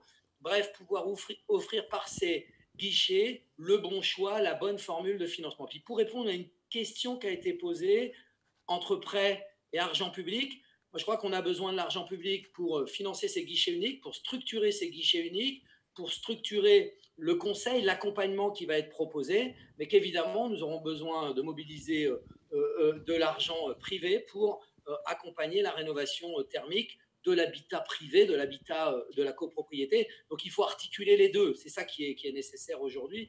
C'est en ce sens-là qu'on essaye de, travailler dans notre région, mais je pense évidemment dans d'autres régions aussi. je, je, fais un peu écho à ce que vous venez de dire, c'est extrêmement intéressant moi, je, pense qu'on a besoin des deux, privé-public, parce que euh, c'est comme la garantie des, logements pour des, étudiants ou des jeunes actifs. Il y a des dispositifs publics, et, plus je pense qu'il y aura un dispositif privé pour venir euh, renforcer l'ensemble, plus on sera fort. Euh, et je crois qu'il y a une règle qu'il faut qu'on arrive à, à, imaginer, et franchement, c'est la simplicité. C'est la simplicité, parce que moi, ce qui me fait un tout petit peu peur, c'est dès qu'on entre dans trop de, de, trop techniques, comme les, les, certain nombre de crédits, ça, perd, ça perd les, clients, ça perd les emprunteurs.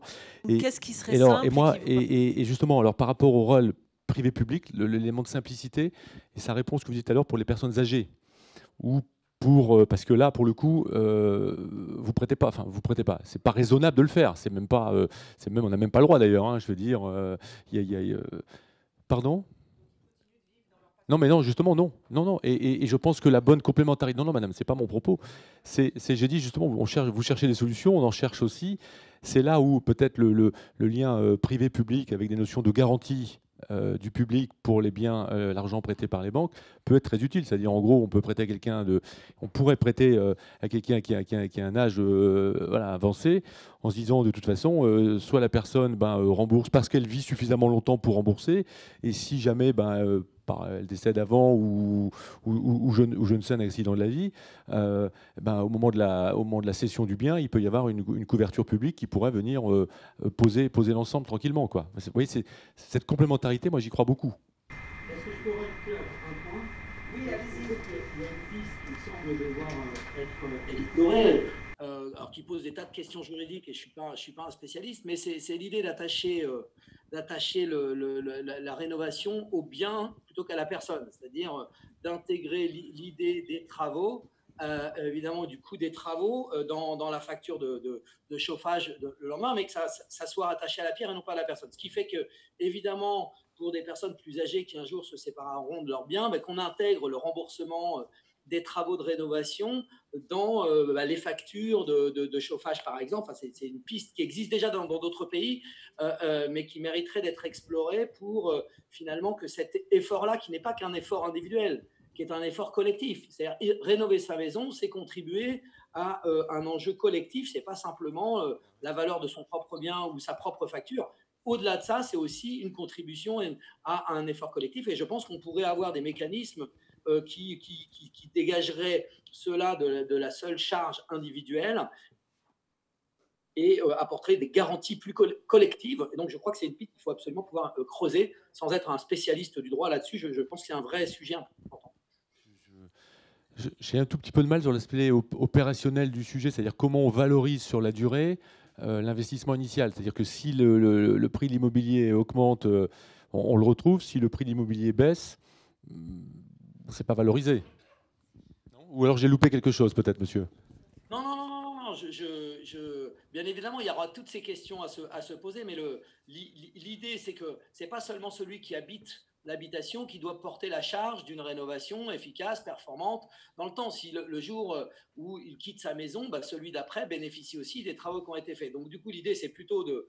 Euh, alors évidemment, le, voilà, moi, il y a tous ces mécanismes qu'il faut creuser sur euh, l'impact sur le du, prix de l'immobilier, évidemment, mais je, pense qu'il y a là des sujets à creuser pour alors, sortir de... Alors, en fait, il se trouve... Excusez-moi, il se trouve que on avait identifié ce sujet-là, euh, on a essayé de le réfléchir et de faire des propositions, et confronté à plusieurs euh, acteurs Et en cherchant une solution, le groupe ici a décidé finalement de ne pas approfondir euh, la question de, finalement de, l'indexation sur la pierre. Et du coup, on est, euh, voilà, si là-dessus vous aviez la solution et on sent bien là aujourd'hui que vous ne l'avez pas, nous on, a mis le paquet de réflexion sur euh, d'autres mécanismes, mais bon, il n'est jamais trop tard pour le réinjecter, mais il faudrait que vous nous proposiez des, des solutions. Je vais donner la parole à trois personnes qui veulent encore réagir, à commencer par toi, Tristan. Euh, donc ce que vous parliez, donc c'est un fonds de garantie en fait que dont vous parliez tout à l'heure, c'est ça? Euh, en quelque sorte, oui. Qui- Oui, oui, pour- enfin, pour, euh, qui, qui pas- assurerait qu'il y a un, f- Hmm. qu'il y a un remboursement, même si c'est un public fragile que vous qui Hmm. emprunte en Hmm. fait. Oui. Et donc euh, comment vous voyez la mise en place de, de ce fonds de garantie? Par qui euh, Comment? Ben, je pense qu'il y a une partie des, des euh, enfin, il y, a- il y a une partie des, des emprunteurs où la banque doit faire le boulot normal, enfin, dès l'instant où les, les- les règles d'octroi de crédit sont respectées, enfin, on le fait de manière, res- de manière responsable. euh, on n'a pas besoin d'avoir euh, un fonds de garantie systématique qui vienne couvrir à chaque fois qu'on va financer la rénovation. Vous voyez, euh, on, a, on, a, on a par exemple, je pense chez nous, là, on va lancer là, au, mois de, de mars, on a un crédit qui s'appelle Énergie Bio. Il était à 1%. Bon. Et, l'année dernière, on m'a dit il faut faire le éco-PTZ. C'est pour. euh, bon, bon, trop compl- enfin, complexe. complexe. Donc la décision, parce que complexe, parce que c'est euh, investissement informatique, euh, nouveaux produits. Enfin, il faut 18 mois. Il faut 18 mois. Et dans le monde dans lequel on vit, les sujets que l'on porte, il faut de la réactivité. Il faut qu'on puisse aller très vite. La décision qu'on a prise, bah, c'est de le faire sous forme de prêt personnel. Je sais que vous n'aimez pas, mais je vais vous expliquer pourquoi. Quand vous faites un prêt personnel et que je le fais, je vais prendre mon papier pour ne pas me tromper, sur une durée de 180 mois, vous voyez que la notion de prêt personnel, de prêt immobilier, c'est juste du vocabulaire. hein. Parce que quand je fais un prêt perso à 15 ans, vous voyez, je, et en fait, je l'ai fait parce que c'était beaucoup plus simple de le faire sous forme de, de prêt perso pour des raisons. Je n'avais pas besoin d'investir beaucoup dans l'informatique. Ça se faisait en, en trois mois, ça se fait. Et on, le, fait à, on le fait à 0%. Donc, je pense qu'il y a, y a- une frange de- de- de- de- de- de- d'emprunteurs où ça se fera naturellement. Et il y a une frange d'emprunteurs les personnes âgées, les gens en situation financière. Il y a, je n'ai pas de chiffre là-dessus, mais je pense qu'il y a une frange de, propriétaires qui ne- qui n'ont pas les moyens de, de- où c'est la marge de trop, euh, où là, euh, y aller de ma- manière responsable. Si on y va alors qu'on pense que la personne, il y a des doutes sur son remboursement, on ne fait pas notre boulot. Ok, c'est clair. Ça, ça, pour vous, ça, ça veut dire marge. Moi, ça veut dire. Moi, ça veut. Pour vous, ça, ça veut dire marge. Moi, ça veut dire. On fait quoi? Non, non, c'est pas Non. grave. C'est une, c'est Juste- de la- c'est une boutade. Je- juste pour compléter, euh, C'est pas marge, c'est juste, on ne fait pas du crédit pour aller au contentieux et aller poursuivre les clients derrière. C'est juste ça. Juste pour compléter l'affaire du, fonds de garantie, donc il faut avoir en tête que typiquement sur, les copros, donc je ne suis pas un spécialiste du, phénomène, mais tout ce que je sais, c'est que sur les copros, ça existe. Alors, euh, est-ce que c'est un système d'assurance euh, privé ou un système qui vient du public? Mais euh, les, prêts aux copropriétés sont cautionnés, et donc s'il y a un copropriétaire qui ne rembourse pas, ce ne sont pas les autres euh, qui, qui, c'est un système d'assurance. Donc voilà, donc c'est des phénomènes qui existent déjà, donc il doit être possible de s'en inspirer. Allez, je vous propose qu'on prenne quelques questions. Peut-être que vous complétiez euh, en plus, parce que j'ai plusieurs mains qui se lèvent. Parce que, et il nous reste 10 minutes. Du coup, on les prend toutes. Et puis vous, vous prenez des notes. On les prend toutes et on a une Euh, minute pour y répondre. euh, Bien sûr, sûrement. Mais en plus, qu'on a, on a sans doute Ch- Charles Fournier qui veut réagir. Euh, Jean-Pierre. Oui, bonjour. Euh, alors, moi, je suis un peu déçu de, vos réponses et, du discours que j'entends. C'est-à-dire que je vais être un petit peu provocateur, mais c'est pour faire avancer les choses. hein. Euh, quand, je lis un article dans Le Monde où, les cinq premières banques françaises, dont vous faites partie, je crois, hein, euh, ont- généré 4,5 fois plus de carbone que ce que génère la France entière, ma question est la suivante. Quels sont euh, alors nous, on est, on est force de proposition, hein, ça va être notre travail, mais de votre côté, je comprends bien que la notion de rentabilité dans le privé est importante, et chez vous, a priori, d'après ce que je comprends, elle est vraiment très importante. Euh, rentabilité, de protection, on est d'accord, ça va de pair. Quelles sont les bonnes actions, les bonnes idées que vous pourriez avoir pour compenser euh, ce mauvais travail d'investissement dans des, actions qui sont, en l'occurrence, pas très propres? Alors, avant de prendre les autres attends, questions, non, non, euh, mais je voudrais répondre parce que je, non, non, mais je, parce que je trouve les propos un petit peu, enfin, très excessifs, si je peux me permettre. Non, mais vous m'avez dit, euh, Moi, je, ouais, mais je vais répondre tout de suite parce que je, je- je- J'avais cru, j'avais cru être assez euh, dépassionné. Euh, oui, non, mais euh, dire qu'il y a uniquement la notion de, de rentabilité qui, euh, qui gouverne mes propos et notre intervention aujourd'hui, je trouve que c'est excessif, monsieur, je me permets de vous le dire. Voilà, euh, tranquillement, amicalement, mais je le- je- j'y réponds avec sincérité. Je, je- quand, quand, Plutôt sur les propositions. euh, ouais, ouais, vous non, mais, sentez euh, pas, vous savez, non, mais aussi- ça fait je veux dire, quand, quand, je dis qu'il ne faut pas faire du crédit à des personnes en difficulté parce qu'elles ont pas du mal, elles auront du mal à rembourser, c'est pas un sujet de rentabilité, c'est un sujet de respect des gens qui en prêtent. C'est tout. Non, mais. Bon, si vous voulez. Si Ce vous que voulez. je vous propose, c'est Si qu'on prenne, voulez. comme on l'a Après, dit, les autres Et questions, après, quand, du- pourrez pardon, par rapport à la renta, quand je vous dis qu'on a- on a mis, on met en place une offre euh, qu'on appelle énergie bio, de, qui est exactement les mêmes composantes que l'éco-PTZ, mais en beaucoup plus simple, et qu'on l'a fait nous-mêmes à 0%, sans aller voir l'État, on voit bien que ce n'est pas la ren- la rentabilité qui gouverne le lancement de cette offre. Alors attendez, j'ai Paul, j'ai Samir, j'ai Valérie, Frédéric, j'ai Gilles. Je vois pas de ce côté-là. Est-ce qu'il y a aussi des demandes de prise de parole ou pas? Ok, donc du coup Paul, vas-y. Euh, moi, c'est pour revenir par rapport au prêt à la pierre, effectivement, qu'on a mis un peu de côté, parce qu'on n'avait pas d'informations, parce qu'on n'avait pas eu de banquier, en fait. Moi, enfin de... Ouais, mais en, speed dating, et c'est peut-être pas assez revenu. Du coup, effectivement, le prix, les prix de l'immobilier fluctuent, mais une rénovation reste une rénovation, et ça reste quelque chose de bénéfique. Euh, ma question, c'est qu'est-ce qui vous, vous freine, éventuellement, à faire un prêt à la pierre plutôt qu'un prêt à la personne? Techniquement, j'en sais rien, moi. Ok, on prend, on prend toutes les questions, même si ça va faire un peu compliqué après derrière. Je suis désolée, mais vas-y Samir. Euh, deux secondes, je- vous, avez dit- vous avez identifié les blocages, vous avez dit euh, les vieux. Bon, il y en a. Les gens qui sont endettés, et je voulais savoir euh, euh, quel est le taux d'endettement du foyer moyen, donc, euh, et qui reste qui, et où sont vos ouvertures alors, euh, pour vous permettre des, des prêts? Valérie, Frédéric, vas-y. Alors moi, c'était surtout vu que le, crédit que vous pouviez- pou- qu'on peut faire est de 3,30%, si on refait encore un crédit au middle class, comment ils font pour payer tous ces crédits? Gilles, vas-y. Euh, oui, bonjour. Euh, moi, je suis un peu déçu parce que euh, nous, les gueux, on nous demande toujours d'anticiper, de réfléchir. Vous ne pouvez pas créer, avec vos instruits dans les bureaux, des gens qui anticipent les histoires de création de prêts. Vous avez dit tout à l'heure que pour le PTZ, c'était compliqué parce que patati patata. Mais, vous ne pouvez pas anticiper, vous aussi Créer des prêts pour le futur, et quand ça va venir, vous les mettez en place. Et au moins, il y a de la demande. Il y a de la demande, c'est sûr, mais au moins, c'est prêt. Et vous avez des clients. Moi, je suis au Crédit Agricole. Euh, vous voulez Sébastien peut-être? Voilà, qu'on répartisse un peu la parole et puis après. euh. Alors, deux questions un, peu génériques. Alors, euh, enfin, il y a une question, on ne va pas la traiter en- entièrement parce qu'elle dépasse de beaucoup euh, le cadre, le cadre de, ce groupe de travail. Donc, en effet, les banques gagnent de l'argent. On a annoncé nos résultats il y a deux jours, on ne va pas dire le contraire. En effet, on continue à financer l'économie dans son ensemble. L'économie actuellement est quand même encore très très carbonée ce à quoi on s'est engagé, et après, donc, je ne vais pas rentrer dans les détails, mais on pourra en discuter dans d'autres cadres si vous euh, souhaitez, euh, on s'est engagé à aligner l'ensemble de nos activités sur les objectifs de l'accord de Paris. Donc on se place vraiment dans une politique de long terme. Euh, donc l'accord de Paris décidé à la COP 21 en 2015 et vise à limiter le réchauffement climatique à 2 degrés, voire 1,5. Et donc on s'est engagé à euh, s'inscrire dans cette trajectoire pour voilà, participer à la limitation. euh, à la limitation de ce réchauffement à 2 voire 1,5 degré. Et donc pour ça, on a toute une série euh, d'actions euh, vis-à-vis des particuliers, vis-à-vis des entreprises. Donc on baisse de plus en plus notre, nos investissements dans des énergies haut carbone.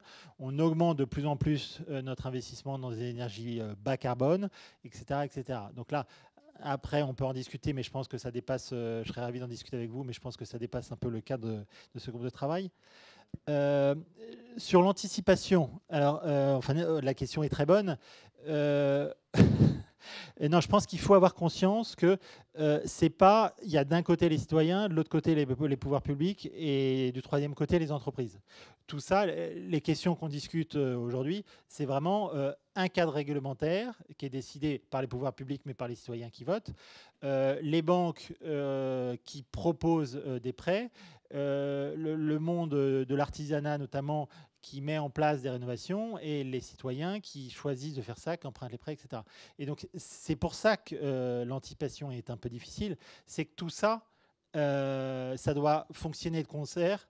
Et donc, les prêts que les banques proposent doivent être adaptés à ce que peuvent faire les artisans. Parce que vous en avez peut-être parlé autre part dans votre, dans votre groupe de travail. Mais moi, quand je vais voir les- les syndicats artisanaux, ce qu'ils me disent, c'est de toute façon, on est complètement full. Notre carnet de commandes, il est jusque-là. donc, euh, donc, il faut travailler aussi avec eux pour euh, valoriser ces métiers, pour former des artisans, etc. Et donc, tout ça, et c'est pour ça que je trouve très bien l'exercice de, cette convention citoyenne, c'est qu'on met toutes les questions sur la table. Euh, tout ça doit être anticipé de concert. Et donc, on essaye d'anticiper, mais typiquement, euh, 18 mois. Euh, le problème, c'est que l'éco-PTZ, euh, c'est réglementaire. Donc, on peut commencer à anticiper quand on connaît les conditions euh, qui sont fixées par l'État. En parallèle, on peut avoir des offres, mais si elles sont complètement rendues has-been, voilà. Donc, il y a quand même un problème de, de visibilité parce que on manque un peu de vision collective. Ce pourquoi, à mon avis, vous êtes là aussi, c'est pour construire un peu de vision collective.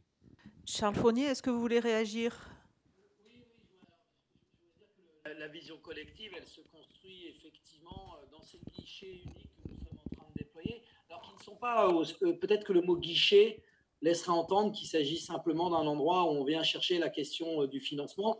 Peut-être que, euh, je ne sais pas si vous avez eu accès au, rapport Piron-Faucheux sur la rénovation euh, thermique et toutes les difficultés, mais la première, c'est déjà euh, euh, l'information. Avant même d'arriver à la question du financement, c'est d'avoir la bonne information. 78% euh, des Français ne sont pas en mesure de citer un dispositif d'aide à la rénovation thermique.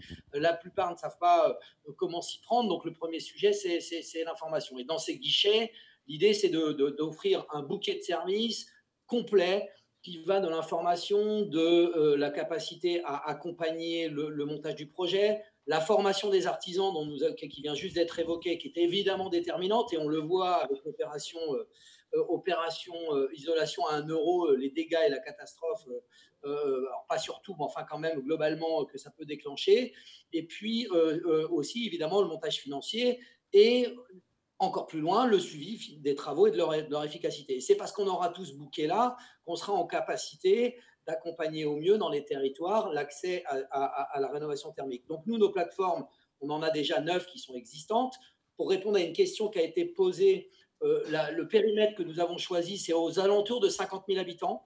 Je dis ça parce que ça correspond à des périmètres portés par des communautés de communes, euh, à un autre endroit par un parc naturel régional, à d'autres endroits par un PETR, des structures en tout cas de coopération euh, intercommunale, et que 50 000 habitants nous semble être à peu près le bon, le bon, la bonne jauge. Mais il y a des endroits où c'est moins et des endroits où ça sera plus. Et l'idée, en tout cas, c'est d'avoir de rendre ces guichets les plus accessibles possibles, qu'ils soient apportés par la puissance publique, ce qui n'exclut absolument pas d'immobiliser toute une chaîne d'acteurs. On a tout le monde autour de la table. Ça va des espaces info énergie, euh, le- les architectes, euh, les représentants des fédérations de, bâtiments. On a tout le monde dans le tour de table parce que c'est comme ça que ça peut fonctionner. Et puis évidemment les banques qu'on invite à, participer à, à la recherche de toutes les solutions euh, de financement. Et c'est là aussi où se construit euh, l'anticipation parce que c'est aussi ici qu'on pourra suivre l'état d'avancement de cette massification de la rénovation thermique. C'est là où on pourra dire si les choses ont avancé correctement et si elles n'ont pas avancé correctement. Et aujourd'hui, on est loin, loin de ce qui est nécessaire de réaliser. Nous, dans notre région, à peu près, sur, je disais 30 000 habitations euh, par an, on est sur un rythme euh, entre 7 et 10 000 euh, annuellement. Et je compte dedans l'auto- l'auto-réhabilitation. Donc, vous voyez, on a à, peine un tiers du chemin qui est fait avec les dispositifs qui existent aujourd'hui. Donc, il faut bien massifier et il faut qu'il y ait de la confiance. Et, ces guichets, ils ont la vocation aussi euh, euh, de, de- créer ces conditions de la confiance. La confiance, c'est la confiance dans l'information, euh, euh, la confiance parce qu'il y aura un accompagnement pour se débrouiller avec le maquis, et puis la confiance, c'est dans la qualité des travaux qui seront proposés, dans le résultat qui sera euh, euh, rendu euh, in fine euh, par ces travaux. Et ça, là-dessus, il y a un énorme enjeu, évidemment, euh, qui est euh, euh, d'accompagner les, artisans, parce qu'on a eu aussi, euh, euh, on n'est pas forcément à saturation, je pense qu'il y a vraiment des possibilités de développer des emplois euh, locaux non délocalisables, mais il faut créer une culture collective, une capacité à travailler collectivement sur ces travaux, euh, avoir des groupements d'artisans, de corps de métier qui sont articulés pour réussir une rénovation per- performante complète. Ça, c'est un vrai sujet, sans nécessairement avoir une maîtrise d'œuvre qui va euh, conduire à augmenter le coût du projet. Euh, donc, c'est des travaux qui existent déjà. Il y a des formules qui existent là-dessus, mais c'est un enjeu pour que tout ça fonctionne. Et je terminerai en disant que ces plateformes, pour moi, ont vocation à travailler sur la rénovation thermique, mais plus largement demain, à travailler sur la transition énergétique dans les territoires et à créer une forme aussi de gouvernance locale dans laquelle les citoyens doivent trouver leur place euh, de cette transition énergétique. Il faut rapprocher les questions de production et de consommation d'énergie à l'échelle des territoires. Rénover le logement, c'est rénover sa qualité, la qualité thermique, mais la qualité de vie dedans. Mais ça sera aussi demain, pourquoi pas, raisonner aussi production d'énergie locale. Je pense euh, évidemment à, la géothermie, euh, je pense au photovoltaïque. Il faut qu'on arrive à grouper dans ces plateformes la capacité à accompagner l'implication dans la transition euh, énergétique et pas simplement dans la rénovation euh, thermique de l'habitat, mais c'est évidemment une bonne porte d'entrée pour élargir ce sujet. Moi, je crois à un parallèle fort que j'évoque souvent. Je parle de systèmes énergétiques territoriaux, comme on a inventé les projets alimentaires de territoire. Et il faut redonner la main, il faut que ça se relocalise, il faut que les citoyens aient leur place dans ce sujet. Donc là, je crois qu'on est sur, en tout cas sur une thématique qui le permet. Euh, euh, mais il faut euh, évidemment coordonner l'ensemble des acteurs dans les territoires. Donc, c'est des guichets. Le mot guichet renvoie trop à la question financière. C'est vraiment des lieux de coordination complète de cette question-là. C'est un service public local de l'efficacité énergétique. Charles, en fait, tout ce que vous nous dites, là, je pense, fait, va faire vraiment, enfin, fait de toute façon déjà très écho à ce qui s'est discuté dans, le groupe. Vous êtes en train de nous ouvrir en plus euh, une réflexion qui peut être intéressante pour nous puisqu'on a deux mesures qui sont structurantes, une mesure sur la rénovation, une mesure aussi sur justement les économies d'énergie et, toute la réflexion sur la formation de la transition écologique, euh, oui, énergétique. Et du coup, ce que vous êtes en train de nous dire, c'est que euh, ce que nous, on avait imaginé comme des guichets dédiés à la question de la rénovation pourrait être aussi des structures d'information et d'accompagnement sur d'autres sujets. Donc je pense que ça, ça va, ça va allumer quelques, euh, quelques réflexions dans le groupe. Mais par contre, j'ai une question et, je, m'en fais moi-même le porte-parole pour le groupe. Vous les avez mis en place, ces plateformes, euh, à votre initiative régionale. Euh, vous y associez l'État. Ici, à la Convention, on est censé réfléchir à l'échelle nationale et à faire des recommandations, voire réglementaires, etc. Est-ce que, euh, et, qu'est-ce que vous nous recommandez ou comment est-ce que vous verriez une aide euh, ou euh, une diffusion de votre expérience?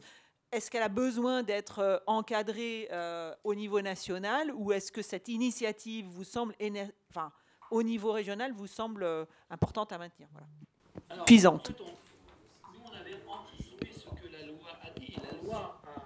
loi a prévu le déploiement de ces plateformes sur l'ensemble du territoire. Malheureusement, elle a prévu, sans quels seront les moyens pour soutenir euh, ces plateformes, et quel est le calendrier. Moi, je pense que euh, c'est déterminant de le faire maintenant et vite. Nous, on s'est donné deux ans pour couvrir tout le territoire de la région avec ces plateformes, guichets, outils au service de la rénovation.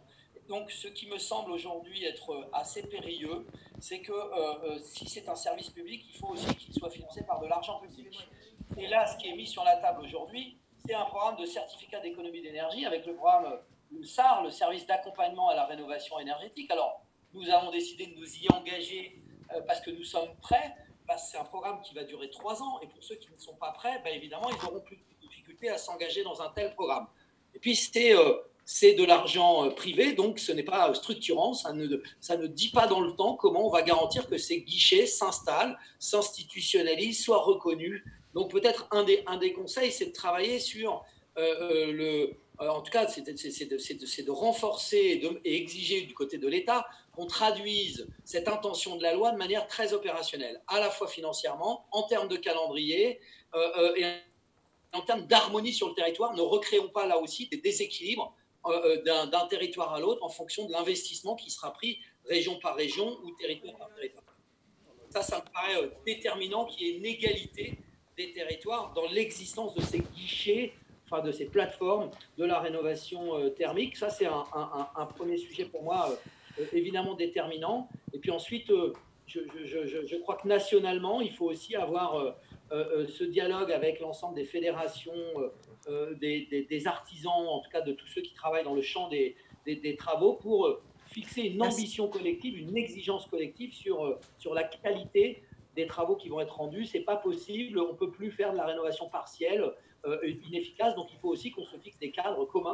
Et là, je pense qu'il y a des pistes à explorer euh, réglementaires à l'échelle nationale. Merci. Euh, je vous propose qu'on prenne deux dernières prises ou demandes de parole du groupe. hein, Ah, vous n'avez pas répondu, mais euh, je- on va prendre deux remarques supplémentaires, vous répondrez en plus, et euh, en, en faisant un petit mot de conclusion, parce qu'en fait, on touche, euh, c'est un- on- voilà, on est dans ces temps contraints, et, et je suis obligée de vous libérer pour que vous puissiez manger. Mais déjà, deux prises de parole, et vous, vous ferez euh, euh, complément et conclusion. Donc c'était pour Monsieur Fournier. Euh, du coup, euh, ce que je trouve très intéressant, ce que vous faites euh, dans la région Val-de-Loire, et je pense qu'on a tout intérêt à s'en inspirer. Comme nous, bah, en fait, on veut, enfin, c'est la même chose, quoi, euh, au niveau national. Donc, euh, je pense que ce serait bien, enfin, si on avait des, des chiffres, sur ce que comment vous avez fait vous. Euh, donc, par exemple, euh, combien ça a coûté pour euh, qu'on puisse avoir une estimation de combien ça coûtera au niveau national. Euh, quelles sont les actions de communication que vous avez mis en place Comment vous avez fait pour que ce- euh, ces plateformes-là soient connues Euh, donc on- pour qu'on puisse s'inspirer aussi pour que ben, là pareil qu'on le fasse à plus grande échelle. Euh, donc voilà, enfin toute la démarche que vous avez faite pour mettre ça en place. Quoi. Et alors, euh, monsieur le vice-président aussi, c'est pour, euh, pour vous. Alors, moi, je. euh, bonjour, Hugues Olivier, j'habite le sud Touraine. Donc, je suis très, très heureux de- d'apprendre que ma région est fer de lance dans cette dynamique. C'est extraordinaire. Mais en même temps, justement, je rebondis sur ce que vous dites. Alors, pourquoi pas créer une agence centrale nationale pour la transition énergétique qui se baserait évidemment à la diffusion des guichets uniques et qui serait euh, euh, au Premier ministre ou en vice-premier ministre, de façon à ce que euh, toute la société soit impactée. Voilà. Merci, monsieur. Alors, on vous donne, comme c'est vraiment du tac au tac, euh, Charles, la parole et peut-être un petit mot de conclusion. Et je vous donnerai à tous les deux aussi en réponse et conclusion euh, pour BNP Paribas. Très rapidement sur le, sur le modèle de financement des plateformes, parce que c'était une question qui était posée. Euh, euh, nos plateformes sont financées à, à- à 50%, vont être financées demain à 50% par le programme SAR dont j'ai parlé euh, tout à l'heure, même si euh, c'est par défaut, vous avez compris mon, propos, à 25% par les fonds européens et à 25% par les territoires euh, sur de l'argent public local. Donc c'est ça le modèle aujourd'hui qui est, mis, qui est mis sur la table. Et les premières plateformes que nous avons financées ont été financées par l'ADEME et par la région. Et donc, c'est ce qui a permis d'impulser avant la structuration de ce dispositif. Sur la deuxième euh, question, hein, dans le sud Touane, d'ailleurs, euh, nous avons une plateforme, hein, puisque c'est une des premières qui a été créée dans le Lochois, donc euh, par chez vous, là où vous, êtes, vous, habitez. Alors, sur l'idée d'une agence nationale, bon, il existe une agence nationale de l'énergie, on a quand même l'ADEME. La, question est comment on articule entre une agence nationale et des réalités régionales qui sont variées. C'est-à-dire qu'on ne peut pas avoir le même outil partout. Il y a des principes, par exemple, si on prend euh, le sujet des types de travaux, des types de, de rénovation qui sont en jeu, d'un territoire à l'autre, ce n'est pas les mêmes pratiques, ce n'est pas exactement les mêmes métiers. Donc, euh, je ne crois pas qu'on peut avoir une agence nationale qui gère tout. Par contre, il faut une cohérence nationale, ça c'est un autre sujet. Et donc, il faut que l'ADEME, qui est impliquée d'ailleurs dans ces dispositifs, euh, participe de cette harmonisation nationale et non pas d'une uniformisation, parce que je crois vraiment qu'il y a des spécificités territoriales. Donc, Et allez-y, je vous... Donc je réponds aux deux questions auxquelles je n'avais pas répondu et puis je, je dis un petit mot de, de- de conclusion. Euh, donc la question auquel je n'ai pas répondu, c'est sur le prêt à la pierre. Je ne sais plus si c'était vous ou... Voilà. C'est, c'est, euh, on, on- on ira... Enfin, on- en tout cas en France, à la différence de certains pays, des pays anglo-saxons, euh, quand une banque, et toutes les banques sont à la même enseigne, et c'est le bon français qui est celui-là, quand on prête de l'argent, c'est pas par rapport à la valeur de l'actif, même si, si, si elle est importante, mais on, ne, on considère que quelqu'un qui achète quelque chose, c'est lui, euh, c'est lui qui, valide la valeur de l'actif et le, marché quelque part, on, regarde quand même. Mais ce qui compte, c'est la solvabilité, la capacité qu'a la personne à, rembourser. Et, euh, on ne peut pas la mettre en difficulté en validant des crédits euh, qu'on ne peut pas octroyer. D'ailleurs, vous voyez les règles même de la CPR, la, la Banque de France qui arrive, 33% d'endettement, pas de crédit au-dessus de 25%, c'est exactement la même logique. En gros, on n'est pas parti en France pour faire des crédits hypothécaires rechargeables, comme ça peut exister dans certains pays. Vous savez, vous pouvez les... Comment? Du foyer. Hmm je ne le connais pas.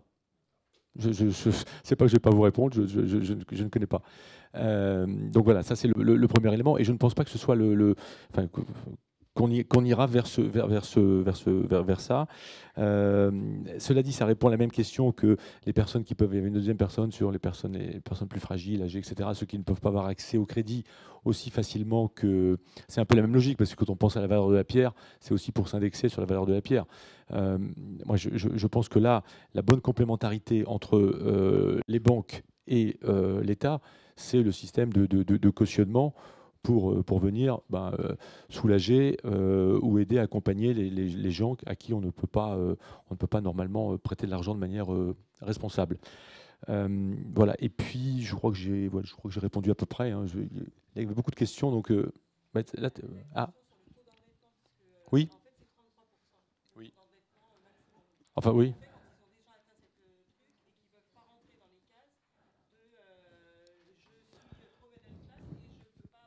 D'accord, c'est une très bonne question. Et eh ben ça, je, vais vous inviter à poser la question à la Banque de France.